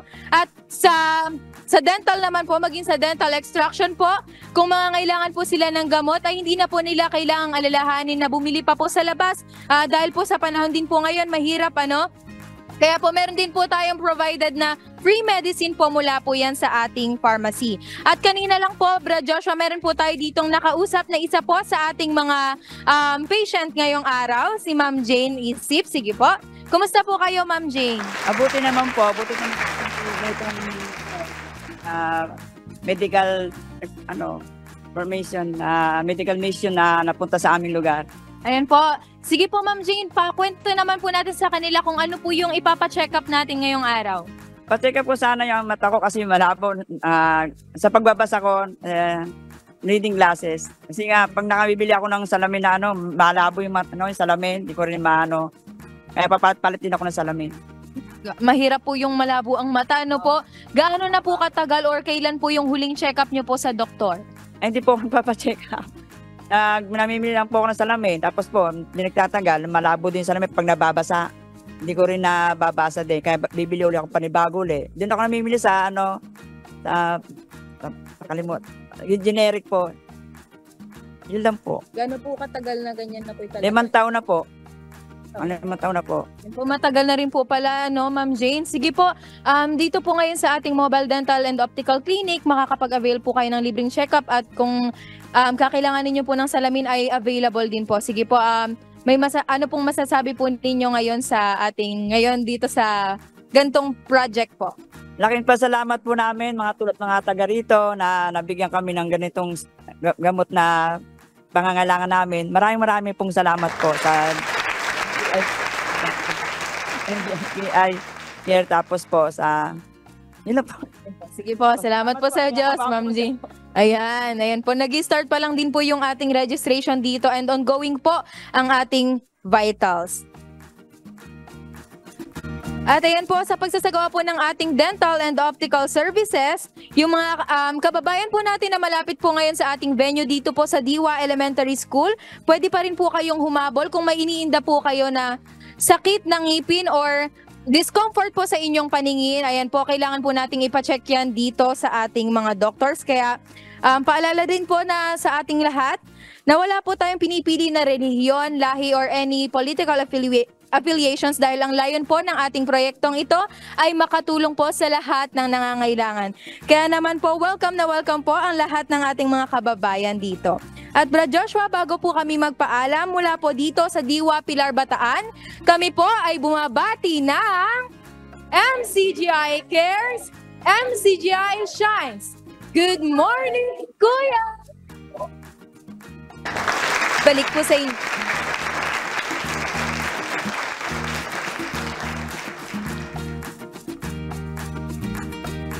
Maraming salamat Sis Camille Malang galing sa Lipa- Pilar, Bataan at sa mga volunteers and staff at sa mga doktor po natin dyan sa Bataan. Maraming salamat po. At hindi lang po isa kundi apat ang umiikot na mobile dental and optical clinic ng MCGI. Ngayong araw ang Mobile Dental and Optical Clinic Unit Number 1 ay nasa lokal ng Kapatagan, Purok 1, Mount Apo, Kapatagan, Digos City, Davao del Sur. Ang ating unit number 2 ay nasa lokal ng Diwa, Hacienda 2, Barangay Diwa, Pilar, Bataan. Ang unit number 3 naman po ay nasa Barangay Rizal West Hall, Sorsogon City, Sorsogon. Ang ating pong unit number 4 ay nasa lokal ng Manibaog, number 169, Pilar Avenue, corner 8th Street, Purok 2, Barangay Manibaog, Libutad, Porac, Pampanga. Kaya sa mga kasambahay po natin na malapit dyan sa ating unit number 2 din, no? meron pang libreng gupit para sa mga kalalakihan bukod sa dental and optical clinic natin. Ngayon, makabalita naman tayo sa ating La Verdad Diagnostic Center. Nandun si Sis Noela Alcantara. Good morning, Bro Joshua, at good morning din sa ating mga kasambahay. Magandang araw po sa inyong lahat. As of 8 a.m., meron tayo ngayong 246 patients sa awat tulong po ng Diyos. Ayan, at sa, yung, sa ngayon po, no, ongoing pa rin po yung pagpapacheck up po ng ating mga kasambahay. Tapos yung mga maaga po pumunta dito kanina ay tapos na po sila at nakuha na rin po nila yung kanila pong mga libreng gamot. Pero po sa mga kasambahay po no, na malapit dito sa area ng La Verdad, nako, meron pa po kayong 30 minutes para po humabol dahil hanggang 9 a.m. pa po tayo dito. Every Friday po yan. Kung inaalala nyo naman po na wala pa po kayong almusal, pupunta po kayo dito, wag po kayo ma- mag-alala dahil meron po tayo ditong libreng almusal mga kasambahay para po sa ating mga pasyente. At sa mga nais po pumunta dito mga kasambahay, dito po yan sa La Verdad, Di- La Verdad Diagnostic Center, MacArthur Highway, Barangay Sampaloc, Apalit, Pampanga. Naku, wag po kayong mahihiya na pumunta dito dahil i-assist naman po kayo ng ating pong mga kasamang News and Rescue, GCOS at yung ating pong mga kasamang MCGI staff. Ulitin po natin yung ating schedule every Friday. Meron po tayong 5 a.m. hanggang 9 a.m. po yan. Kapag naman po Monday to Thursday, nais nyo po magpa-check up dito ng libre, ay available po tayo ng 10 a.m. to 12 p.m. mga kasambahay. Ngayon naman po, kasama ko po si Nanay Rosalinda Timing. Po, Nanay! Ayan, siya po ay 33 years old po from Sulipan, Apalit, Pampanga. Sige po, nanay, bati po kayo sa ating mga kasamahan. Hello po. Unang-una po sa lahat, salamat po sa Diyos. And thank you po doon kay Brother Tolitz. Hi. Ano tawag? Ah, Brother Tolitz Mendiola na nagbigay po sa amin ng information na pumunta po dito kasi po, po ang hirap po talaga ngayon na magpagamot. Eh ngayon po, lalo po ngayon na nagkaroon ng kalamadad. Thank you, thank you po. Ayun po, ano pong papacheck up niyo po ngayon? Yung sa UTI ko po, eh sabi po sa amin ng doktor, nung last po, is baka daw po sa bato na. Sa bato Opo, kaya po, nag-second opinion po ako. Sa tingin niyo po ba yung mga ano po yung mga libreng services po na i-avail niyo po ngayon at yung mga libreng gamot po makakatulong po ba to sa Ay, inyo? opo, sobra-sobra po talaga, lalo na po ngayon na ano. Kasi ngayon ko lang po, ako po talaga is katoliko, pero ngayon ko lang po talaga na-experience na ganito po kami ka-welcome. Kaya po talagang salamat po talaga. Salamat po sa Diyos. Sana huwag po kayong mahihiya kung meron pong ah, nagkasakit sa inyong pamilya o Apa. kailangan niyo po ng libreng gamot, pwedeng pwede po kayo pumunta dito. Nag-almusal na po ba kayo, Nay? Opo. Ayun. Salamat po sa Ah, Diyos. Sana, ah. sana po ay gumaling na po ang inyong Apa. pakiramdam Thank you, at thank you guminhawa na. Okay po, sige po. At ah, ngayon naman po, para po sa ating rendered services sa medical consultation, meron po tayong 147 patients. Ang usual po pinapacheck up po ng ngayong araw ng ating mga kasambahay ay sa sugar, sa cholesterol, sa blood chem, at yung high blood po nila. Sa pediatric consultation naman po, meron tayong 10 patients. Mostly po ang nagpapacheck up po dyan ay yung mga bata po ngayon po. Lalo na sa panahon ngayon, tag-ulan po, marami pong mga bata po may lagnat, may sipon, at ah, meron din pong mga ubo. At ah, sa dental services naman po, meron tayong 64 patients. Marami po ang nagpapabunot po ng ngipin at nagpapagawa din po ng pustiso. At sa optical services naman po, meron tayong 19 patients, nagpapagawa ng salamin at syempre nagre-request din po ng eye drop. At sa laboratory po, meron tayong 6 patients. Ayun, salamat po sa Diyos. At Ngayon naman po, i-acknowledge po natin yung ating pong mga kasama nga doctors and lawyers po na nandito ngayon sa araw na ito. Sina Doc Dentist. Yan po. Sa ating dentist, si Doc Manny Lotok, si Doc Dennis Alcantara, Dr.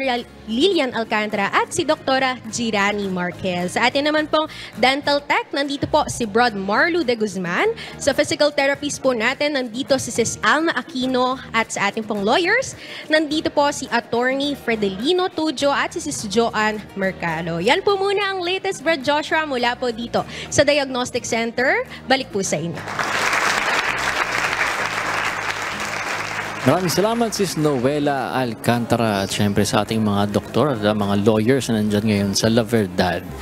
Ngayon makabalita naman tayo sa ating MCGI Clinic Pharmacy. Nandun si Sister Tini Balanon. Yes, Joshua, nandito nga tayo ngayon sa ating MCGI Clinic Pharmacy dito sa Marikina City and as of 8.15 a.m., meron na po tayong nabigyan na 24 or 24 na mga pasyente ng kanila pong mga gamot na inireseta po ng ating pong mga doktor dito sa ating medical consultation area. And as of 8 a.m. naman, meron na po tayong kabuang 258 na registered patients dito po sa ating clinic. At 104 po dyan ay galing sa medical consultation for adults, 12 po sa pediatric consultation, sa ENC consultation ay may 10, OBGYN consultation ay may 5, sa ophthalmology marami-rami rin, nasa 30 po ito, at sa ating pong optical with free reading glasses may 8, at ang ating pong dental services for check-up and extraction ay mayroon po tayong 94. Kaya po dun sa mga kasambahay natin, meron pa po kayong 30, 30 at 3 minuto, no? 33 minutes para, bago po magtapos yung ating pong registration dito po sa ating clinic sa 141 E. Rodriguez Avenue, Marikina City. Kaya kung humahabol pa po kayo, pwedeng pwede pa po. Pero kung hindi na po talaga kaya, meron naman po tayong MCGI Digital Clinic Hotline. At dahil nandito naman po tayo sa ating MCGI Pharmacy, kasama po natin ngayon dito si Sis Gina Calyano, isa po sa mga naka-assign at naka-duty po ngayon dito na pharmacist. Good morning po sis! Bati po muna kayo sa ating pong mga kasambahay. Good morning po mga kasambahay. Yun. Sis, kasi balita po talaga natin ngayon eh marami po sa ating mga kasambahay yung ah, inuubo, yung sinisipon. Pero kamusta naman po yung pagbibigay naman natin po ng gamot dun sa ating pong mga pasyente dito sa ating clinic? Ito po sis, maraming mga pasyente na nabibigyan ng mga libreng gamot at na sa mga nagpapa-check up dito sa Marikina. Ayun po, ah kumbaga madami pong nakapag-avail po ng libreng gamot tsaka libreng check-up. Yun. Pero dun po sa inyo pong mga listahan ngayon dito, ano po ba yung napansin niyo na parang pinaka-problema ngayon at talagang marami ang kailangan ng ganitong klase ng gamot dahil sa isang klase ng sakit? Ano po ba yun? Dahil po sa panahon po ngayon, marami po yung mga nagkakaubo, sipon, lagnat.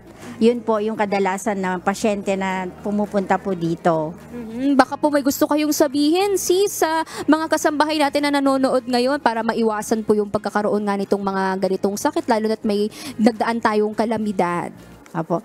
Sa mga kasambahay, mag-ingat lang po tayo. Wag, ah, pagkaganyan po na may bagyo, wag na lang po lumabas para maiwas din po sa mga sakit, maka, ah, makamit ang mga sakit, ganon.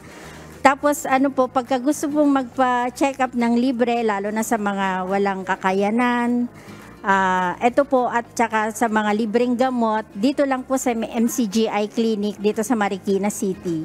At sa tama naman po na pagtitik ng gamot ng ating pong mga kasambahay, baka pwede po ninyo silang ah, bayuhan no, sa tama pong pagtitake ng gamot. Ayun po, dapat po, pagka, kung ano po yung sabihin ng doktor, yun po ang sundin sa pag-inom po ng gamot. Kailangan sundin po ng maayos para po maganda rin po resulta ng para ma para maganda po resulta ng pag ah, gamot po sa katawan. Oo, wag daw sa kapitbahay. Bumase mga kasambahay ha, magpa-check up muna at ibase po doon sa diagnosis at sa binilin sa atin ng doktor kung paano ba natin ititake yung atin pong mga gamot. Ayun, marami pong salamat sa sis, sa pagpapaunlak po sa amin ngayong umaga at syempre sa pagsiservisyo ng libre dito po sa ating pong mga kasambahay na nangangailangan ng mga gamot at syempre magpa-check up dito sa ating clinic. Salamat po sa Diyos. Ayan mga kasambahay, this time, no, gusto lang din natin i-acknowledge syempre ang presence ulit ng Pag-ibig Fund na walang sawang tumutulong at talagang katuwang natin dito sa MCGI Clinic para magserbisyo sa atin pong mga kasambahay na kailangan magtanong o kaya may mga katanungan patungkol sa kanilang pag-ibig. At syempre, ang ating pong mga volunteers, sila si Juliet Mista, si Ronel Alhambra, Brad Ismael Isabella, si Trisha Jimenez, si Rose Dulay at Brad Michael. At sa lahat ng mga volunteers natin from Members Church of God International, maraming salamat po sa inyo at marami po salamat sa Diyos sa lagi pong pakikiisa sa atin pong mga gawain na ganito na nakakatulong tayo sa ating mga kapwa-tao. Joshua, yan muna ang latest dito sa ating pharmacy. Balik muna sa'yo. Maraming salamat, Sister Tini Balano. Kaya mga kasambahay, nandito po tayo ngayon sa number 141 E. Rodriguez Avenue, Marikina City. Every Friday po yan. Ang ating registration time ay alas 5 hanggang alas 9 ng umaga. At sa La Verdad Diagnostic Center naman po sa MacArthur Highway, Barangay Sampaloc, Apalit, Pampanga, ang registration time natin from Monday to Thursday ay 10 a.m. to 12 p.m. Pero pag Friday po ay alas 5 rin hanggang alas 9 ng umaga. Narito naman po ang locations ulit ng apat na units ng MCGI Mobile Dental and Optical Clinic. Ngayong araw ang Mobile Dental Optical Clinic Unit number 1 ay nasa lokal ng Kapatagan, Purokwan, Mount Apo, Kapatagan, Digos City, Davao del Sur. Ang unit number 2 ay nasa lokal ng Diwa, Hacienda 2, Barangay Diwa, Pilar, Bataan. Ang ating pong unit number 3 ay nasa Barangay Rizal West Hall, Sorsogon City, Sorsogon. Ang unit number 4 po natin ay nasa lokal ng Manibaog, number 169, Pilar Avenue, corner 8th Street, Purok 2, Barangay Manibaog, Libutad, Porac, Pampanga. At kung hindi naman po kayo makakapunta sa ating mga clinic para magpatingin sa doktor, pwede rin po kayong kumonsulta online dahil bukas po ang ating MCGI Digital Clinic Hotline para po sa inyo. Ayan po ang ating mga numbers at ilista nyo na po para po sa inyong mga medical consultations. Mga kasambahay, maraming salamat po uli sa inyong panonood at pagsuporta. Sa lunes, magkita-kita po tayo muli, God willing. At sabay-sabay tayong bumati ng isang Good, Good morning, Kuya!